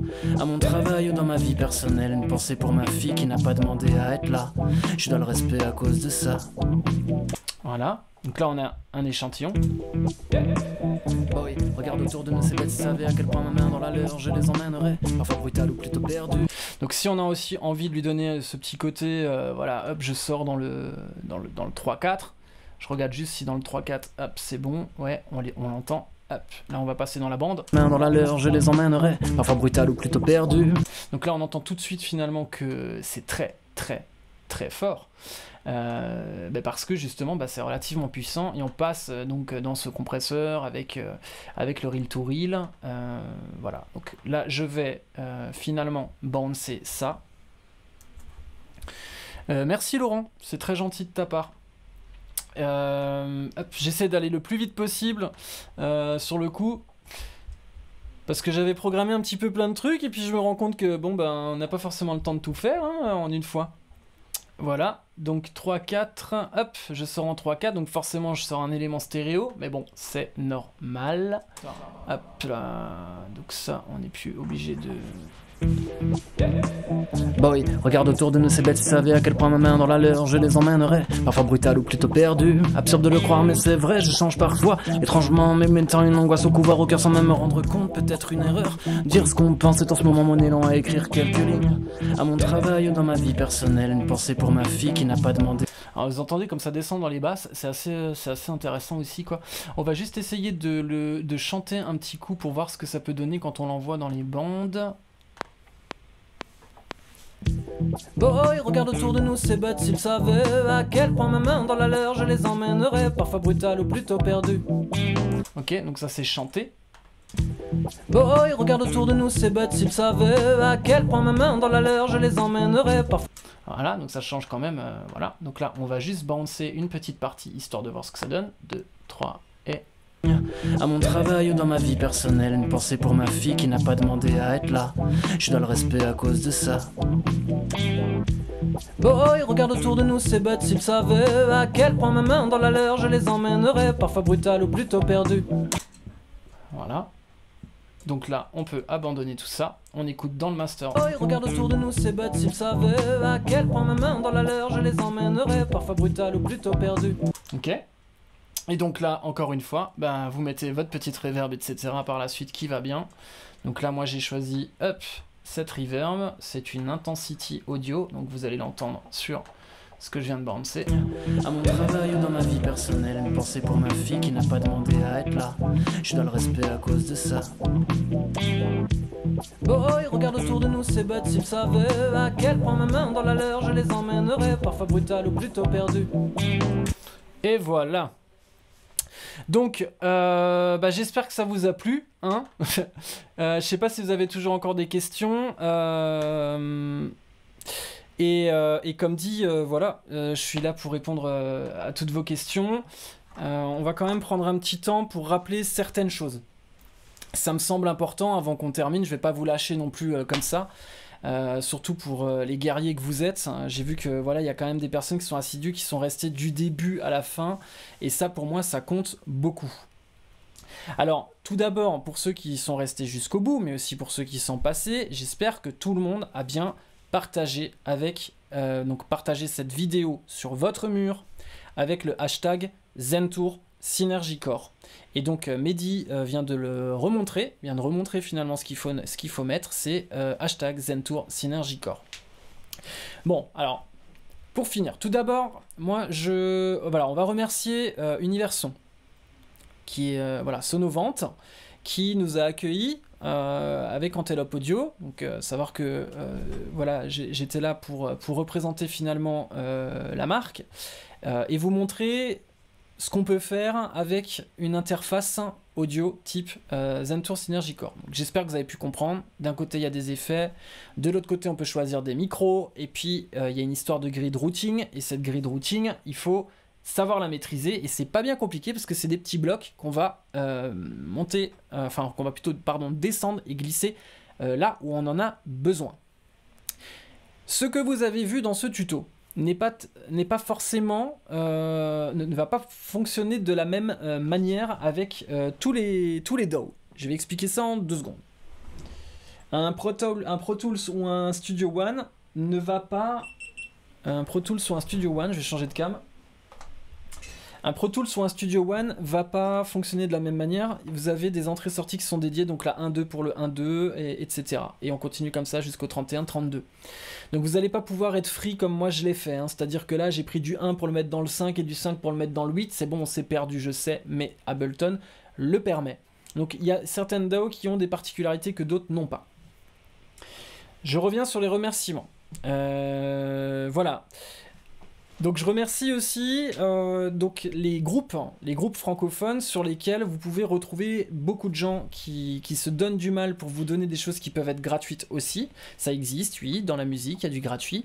Euh, je parle de Planet Home Studio, Logic Nation, d'accord? Donc euh, Planet Home Studio, c'est un magazine qui a le mérite d'exister. Et quand il sort, il est téléchargé beaucoup plus que mille fois. Et à l'intérieur, vous avez plein de trucs et astuces, vous avez des essais, etc. Concernant euh, le Zen Tour, je reviens sur le Zen Tour, les avis, il faut que vous les fassiez vous-même. Il faut tester ce type de machine. On ne peut pas dire euh, tant qu'on n'a pas essayé. C'est pas, pas possible. Il y a des personnes qui vont rencontrer des difficultés avec euh, ce type de matériel et d'autres non.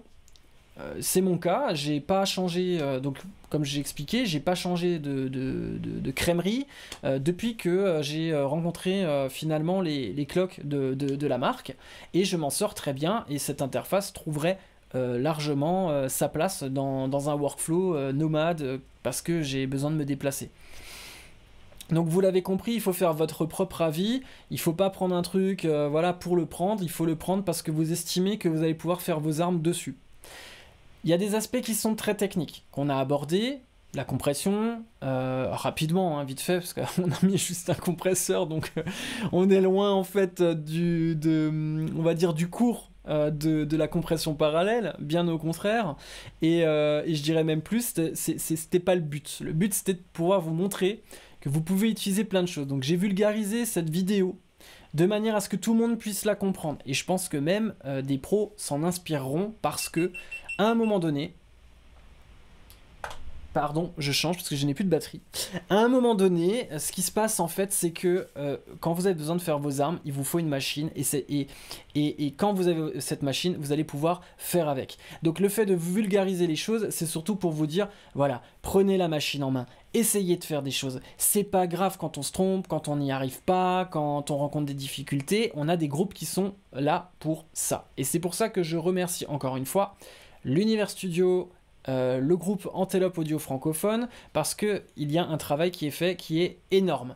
Euh, voilà, quand il y a un problème, quand euh, il y a une difficulté au niveau de la compréhension, quand il y a des tutos qui se font, moi je trouve ça super parce que voilà, ce sont des machines qui qui comme n'importe quelle autre machine a son lot, on va dire, de complexité. Là, on est dans du numérique, on n'est pas dans de l'analogique. Donc, pour revenir un petit peu côté technique, c'est comme si vous faites des inserts hardware. Là, on a fait la même chose, sauf qu'on n'a pas d'hardware.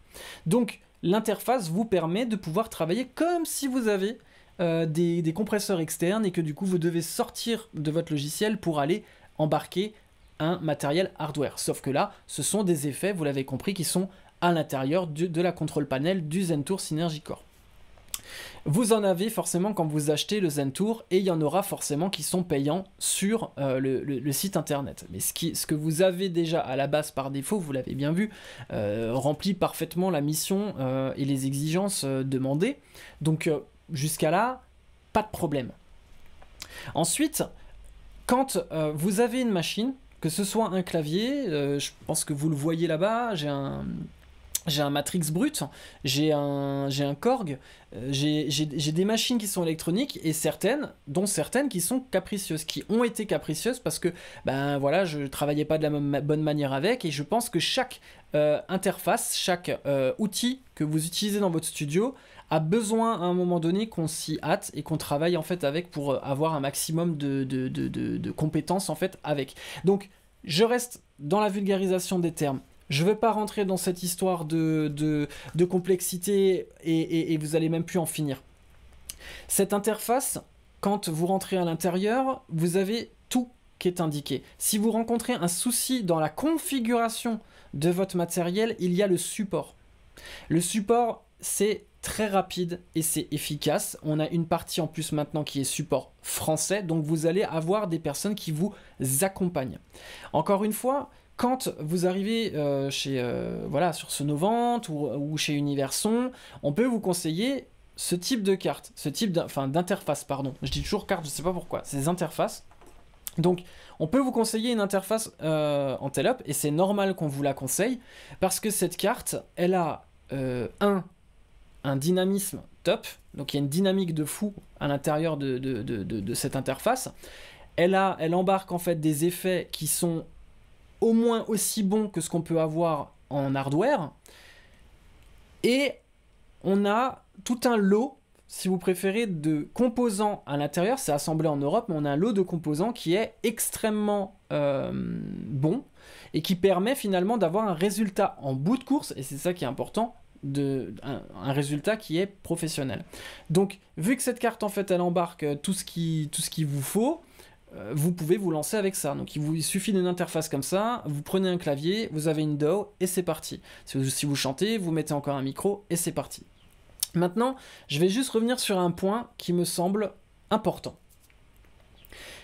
Quand, euh, alors avant, quand on n'utilisait pas toutes ces machines numériques, on utilisait de l'analogique. Il y avait des câbles partout, il y avait aussi des pannes. Et d'ailleurs, les machines hardware se patinent, deviennent molles ou dures, ou euh, selon, selon, euh, selon l'utilisation qu'on a en fait avec euh, ce type de machine, bah, finalement on obtient un résultat. quoi. Et au fur et à mesure, voilà, c'est de l'entretien, etc. C'est compliqué. Un effet, un effet comme là, un effet qui est embarqué, c'est un effet qui reproduit les, une machine. Reproduit une machine bien spécifique. Quel âge elle a? Ça, euh, je peux pas vous le dire. Euh, quelle marque c'est? Je peux pas forcément vous le dire. Après, on le voit au niveau des graphismes. On pourrait dire que ça, ça ressemble à ça et ça, ça ressemble à ça. Mais en tout état de cause, il faut quand même se rendre compte qu'un plugin, donc un iFix, un effet là comme on a là sur Antelope, c'est la reproduction fidèle d'une machine qu'on a ou la reproduction qu'on se fait d'une machine ou de ce qu'on pense être le mieux. Donc aujourd'hui vous avez des, effets qui sonnent comme ça, demain vous avez des effets qui sonnent d'une autre manière. Comme là sur le logiciel j'ai utilisé des choses, euh, voilà, X ou Y. Donc chacun fait sa sauce, en fait, euh, voilà, chacun fait comme il a envie. Voilà, donc du coup, euh, moi je vous remercie tous. J'ai fini pour cette explication. Si vous avez encore des questions, bah, mettez-les en commentaire. Je suivrai en fait ce que, vous mettez euh, sur, euh, sur cette vidéo-là. Il y en aura d'autres. vous pouvez rejoindre la communauté l'Univers Studio pour pouvoir nous parler ou Antelope Audio francophone. N'oubliez pas effectivement de, partager cette vidéo parce qu'il va y avoir ce tirage au sort. C'est pas moi qui le fais, hein. c'est tout à fait normal. C'est pas à moi de le faire. Mais il va y avoir un tirage au sort. Donc euh, voilà, j'espère que vous allez, gagner et que euh, on se retrouvera finalement sur le groupe pour une configuration. Euh, dernière chose, bah non, je crois que j'ai rien oublié. Donc j'attends encore deux petites minutes. Si vous avez à mettre dans les commentaires quelque chose, ben allez-y. Et sinon, ben voilà, on va couper parce que je crois qu'on a fait le tour de toutes les questions.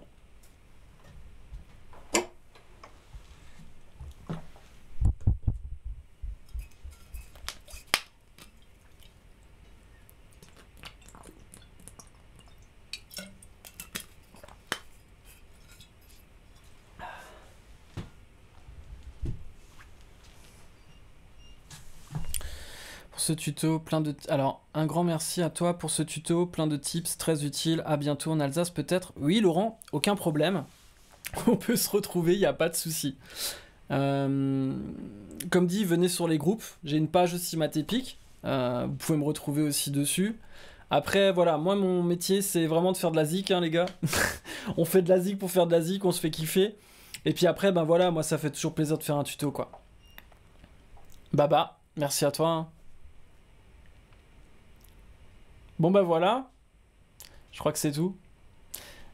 Ben je vais, vous laisser une... Allez, j'envoie ça pour le plaisir.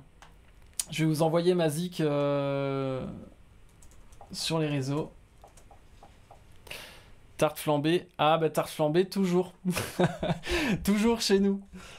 Toujours. Moi je mange... Alors je suis un fan de tarte flambée, mais aussi de, de pizza. Et chez nous, c'est la flamme à cœur. On dit flamme à cuire. Tac. Alors, voilà, proximité. Tac. Je vais vous envoyer ça. Hop. Voyez, je mets mon petit YouTube là. J'espère que vous allez le voir. Allez, et puis on va se laisser avec ça, hein, je pense. J'espère que ça marche. Ah ouais, ça marche.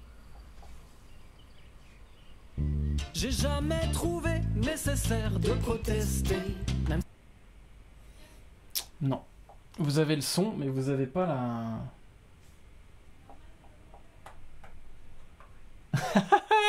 C'est que ça doit pas se faire, hein? Hein, on dit ça? Hop. Hop. Je reconnecte un coup. Ah oui, je suis au rythme, ouais, tout à fait. Voilà. Allez. Donc je vous laisse avec ça. Hein. Merci les copains, partagez. Yes, Guillaume, Guillaume aussi qui est de, alors qui, fait des tutos avec Mixbus, etc. Euh, tu, peux, mettre en commentaire aussi euh, le groupe que tu as ouvert. Ça me, ça me semble hyper intéressant parce que lui, il utilise des DAO qui sont pas. Voilà, aussi Reaper d'ailleurs, il utilise. Donc euh, voilà, n'hésite pas à mettre justement en commentaire tout ça. Il fait aussi partie de Antelope Audio francophone. Il peut aussi vous aider. Donc vous voyez comme quoi et puis je vous laisse en fait avec un, bah, petit son reggae que j'ai fait euh, voilà, pour le fun. Avec, euh, bah, à l'occasion de la, sortie du Zen Tour euh, Synergy Core, j'avais la machine chez moi, donc j'avais fait ça et j'ai fait encore un autre son auto-tuné que vous pouvez retrouver sur ma, ma chaîne YouTube. Donc n'hésitez pas, et puis voilà. Donc je vous laisse avec ce petit morceau, et puis je vous dis à bientôt, et je vois vos commentaires.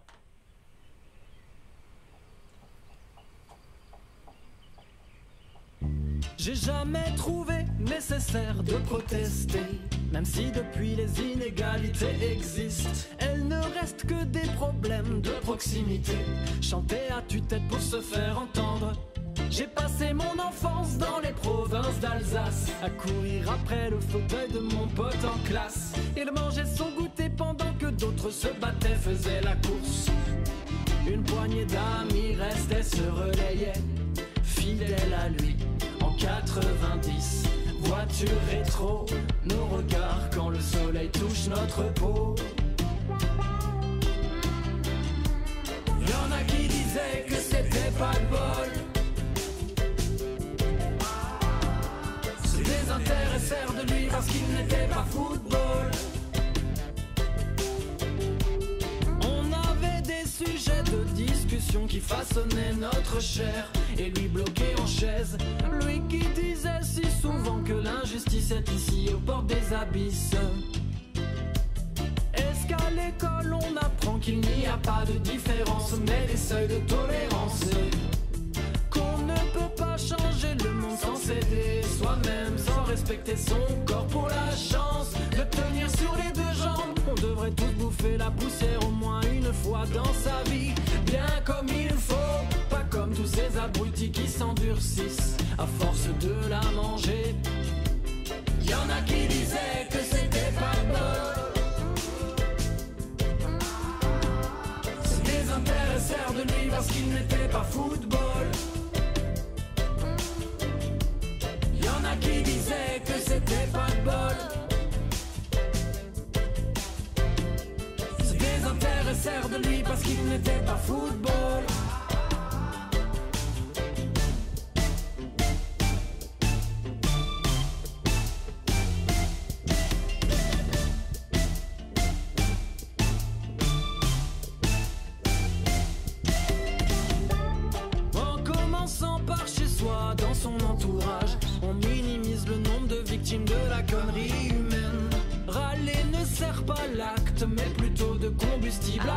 C'est inutile, comme l'ignorance et l'hypocrisie. Personne ne vit la vie d'un autre à part les voleurs. La malveillance est présente, comme le jugement et l'apparence est trompeuse. La bienveillance est en suspens, comme un texte en fleurs. Pourquoi faire tout comme si tout allait bien? L'apparence est trompeuse. Pourquoi faire tout comme si tout allait bien? Y'en a qui disaient que c'était pas de bol. Les intéressèrent de lui parce qu'il n'était pas football. Y'en a qui disaient que c'était pas de bol. Se désintéressèrent de lui parce qu'il n'était pas football. Y'en a qui disaient que c'était pas de bol. sœur de lui parce qu'il n'était pas football. Y en a qui disaient que c'était pas bol.